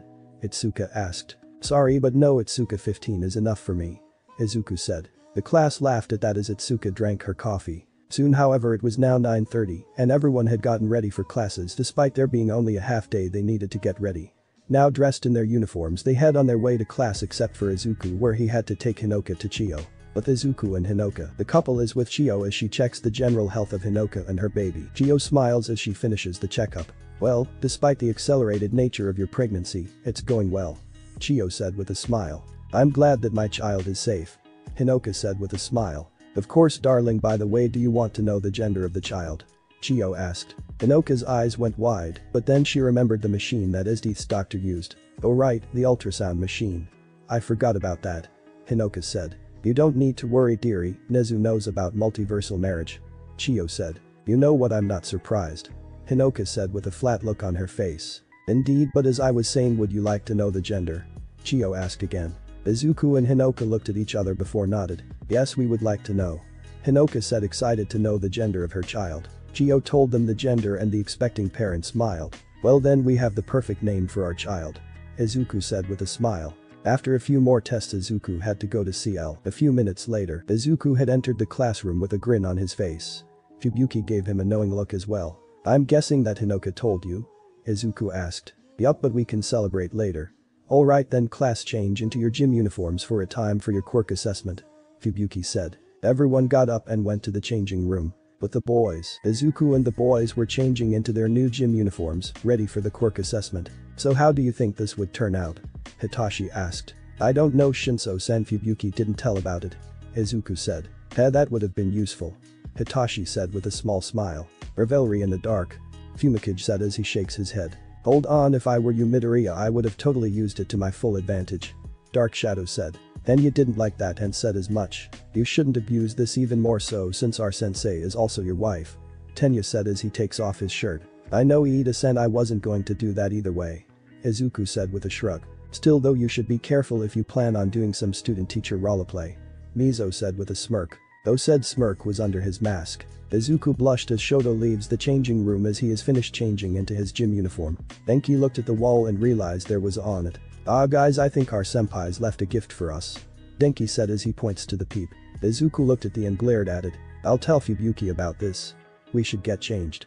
Izuku said. Everyone changed into the gym uniforms and left for a training area. But the girls, dang I was hoping that one of them would pervert us. So that I can poke one of their eyes out. Kyoka said. And if one of them was your husbando Izuku. Setsuna said with a grin. Kyoka and Ochako blushed as Setsuna grins and Abara frowns. Pony decides to change the subject. I mean the guys are cute especially that Shoto guy. Pony said with a tiny blush. Oh aiming high I see. Toru said who smiled despite being invisible. He just looks so cute and in silent kind of way. Pony said. Yup a total bishonen, but he feels ish. Setsuna said. Well then I think we should worry about being heroes right now, but some of the boys are cute. Itsuka said. Yup at least we can go back to the dorms after this. Kyoka said. Indeed. Sai said. The bar glared at Ochako and Kyoka as she leaves. The rest of them got dressed and went into the field. PE grounds. As class 1 entered the PE grounds they see their homeroom teacher and one of Izuku's wives, Fubuki along with another person. Did tell Fubuki about the peep. The other person is a slender and tall pale-skinned man with messy, shoulder-length black hair that partially hangs in front of his face and half-open black eyes. He is usually recognized for his worn-out appearance, often looking fatigued. His facial hair is almost always in a stubbly, unkempt state and his eyes tired and flat unless he's in combat. He sports a baggy black outfit that consists of a long-sleeved shirt and matching pants that tuck into his boots. He also wears a utility belt and his signature wrap scarf at all times. He hides a pair of bright yellow goggles underneath his scarf for when he needs to use them in battle. Hey kids welcome to the quirk assessment. Fubuki said. The other person just grunted. Okay how this will work is simple you know those physical tests you did in middle and high schools? Fubuki asked. The students nod remembering those tests and how boring they were. Well just take that, but you get to use your quirks. Fubuki said. The student cheered at this as the other person frowned but did nothing. Alright settle down now. We should get started, but before we start I'd like to introduce to Shota Aizawa. The head of security of UAU. Fubuki said. The now named Shota looked at the students. You know I would have said that would threaten to expel the lot of you. Shota said as the students began to argue. Alright. Alright. I get that it would seem unfair, but you're training to be heroes. But you're also free to ignore him in regards to teaching. Fubuki said. Shota groans at this. Yes I underestimated the power of a black mark from UA. Due to that underestimation we are barred from using a more freestyle education. Shota said. Okay then we should get the show on the road. First off the 50 meter dash. Fubuki said. 50 meter dash. Two by two the students began to do the 50 meter dash. Okay then Tenya, Sai you're up first. Fubuki said. Alright then. Sai said as she gets to position. Yes, sensei. Tenya said as he did the same. 3, 2, 1. Go. Fubuki shouted as they ran as fast as they could go. Then they finished. Alright then Tenya got 3.04 seconds. Fubuki said. Dang it if I could just go into third gear. Tenya said. Sai. 5.58 seconds. Fubuki said. Huh not bad. Better than I did in high school. Sai said. Ochako, Mashirao you're next. Fubuki said as both of them got into position. Ochako removed the gravity from her clothes and got into runner's position and shakes her a little. Izuku and Kyoka blushed a little. They did the same where Mashirao managed to get 5.49 seconds. While Ochako got 7.15 seconds. Yes that's better than I did in high school. Ochako said. Good enough I guess. Mashirao said with a nod. Alright then Midoriya, Kendo you're up. Fubuki said. Izuku and Itsuka got into position. Izuku began to use 5% of Ofa all over his body. Itsuka was also determined to do her best. Go.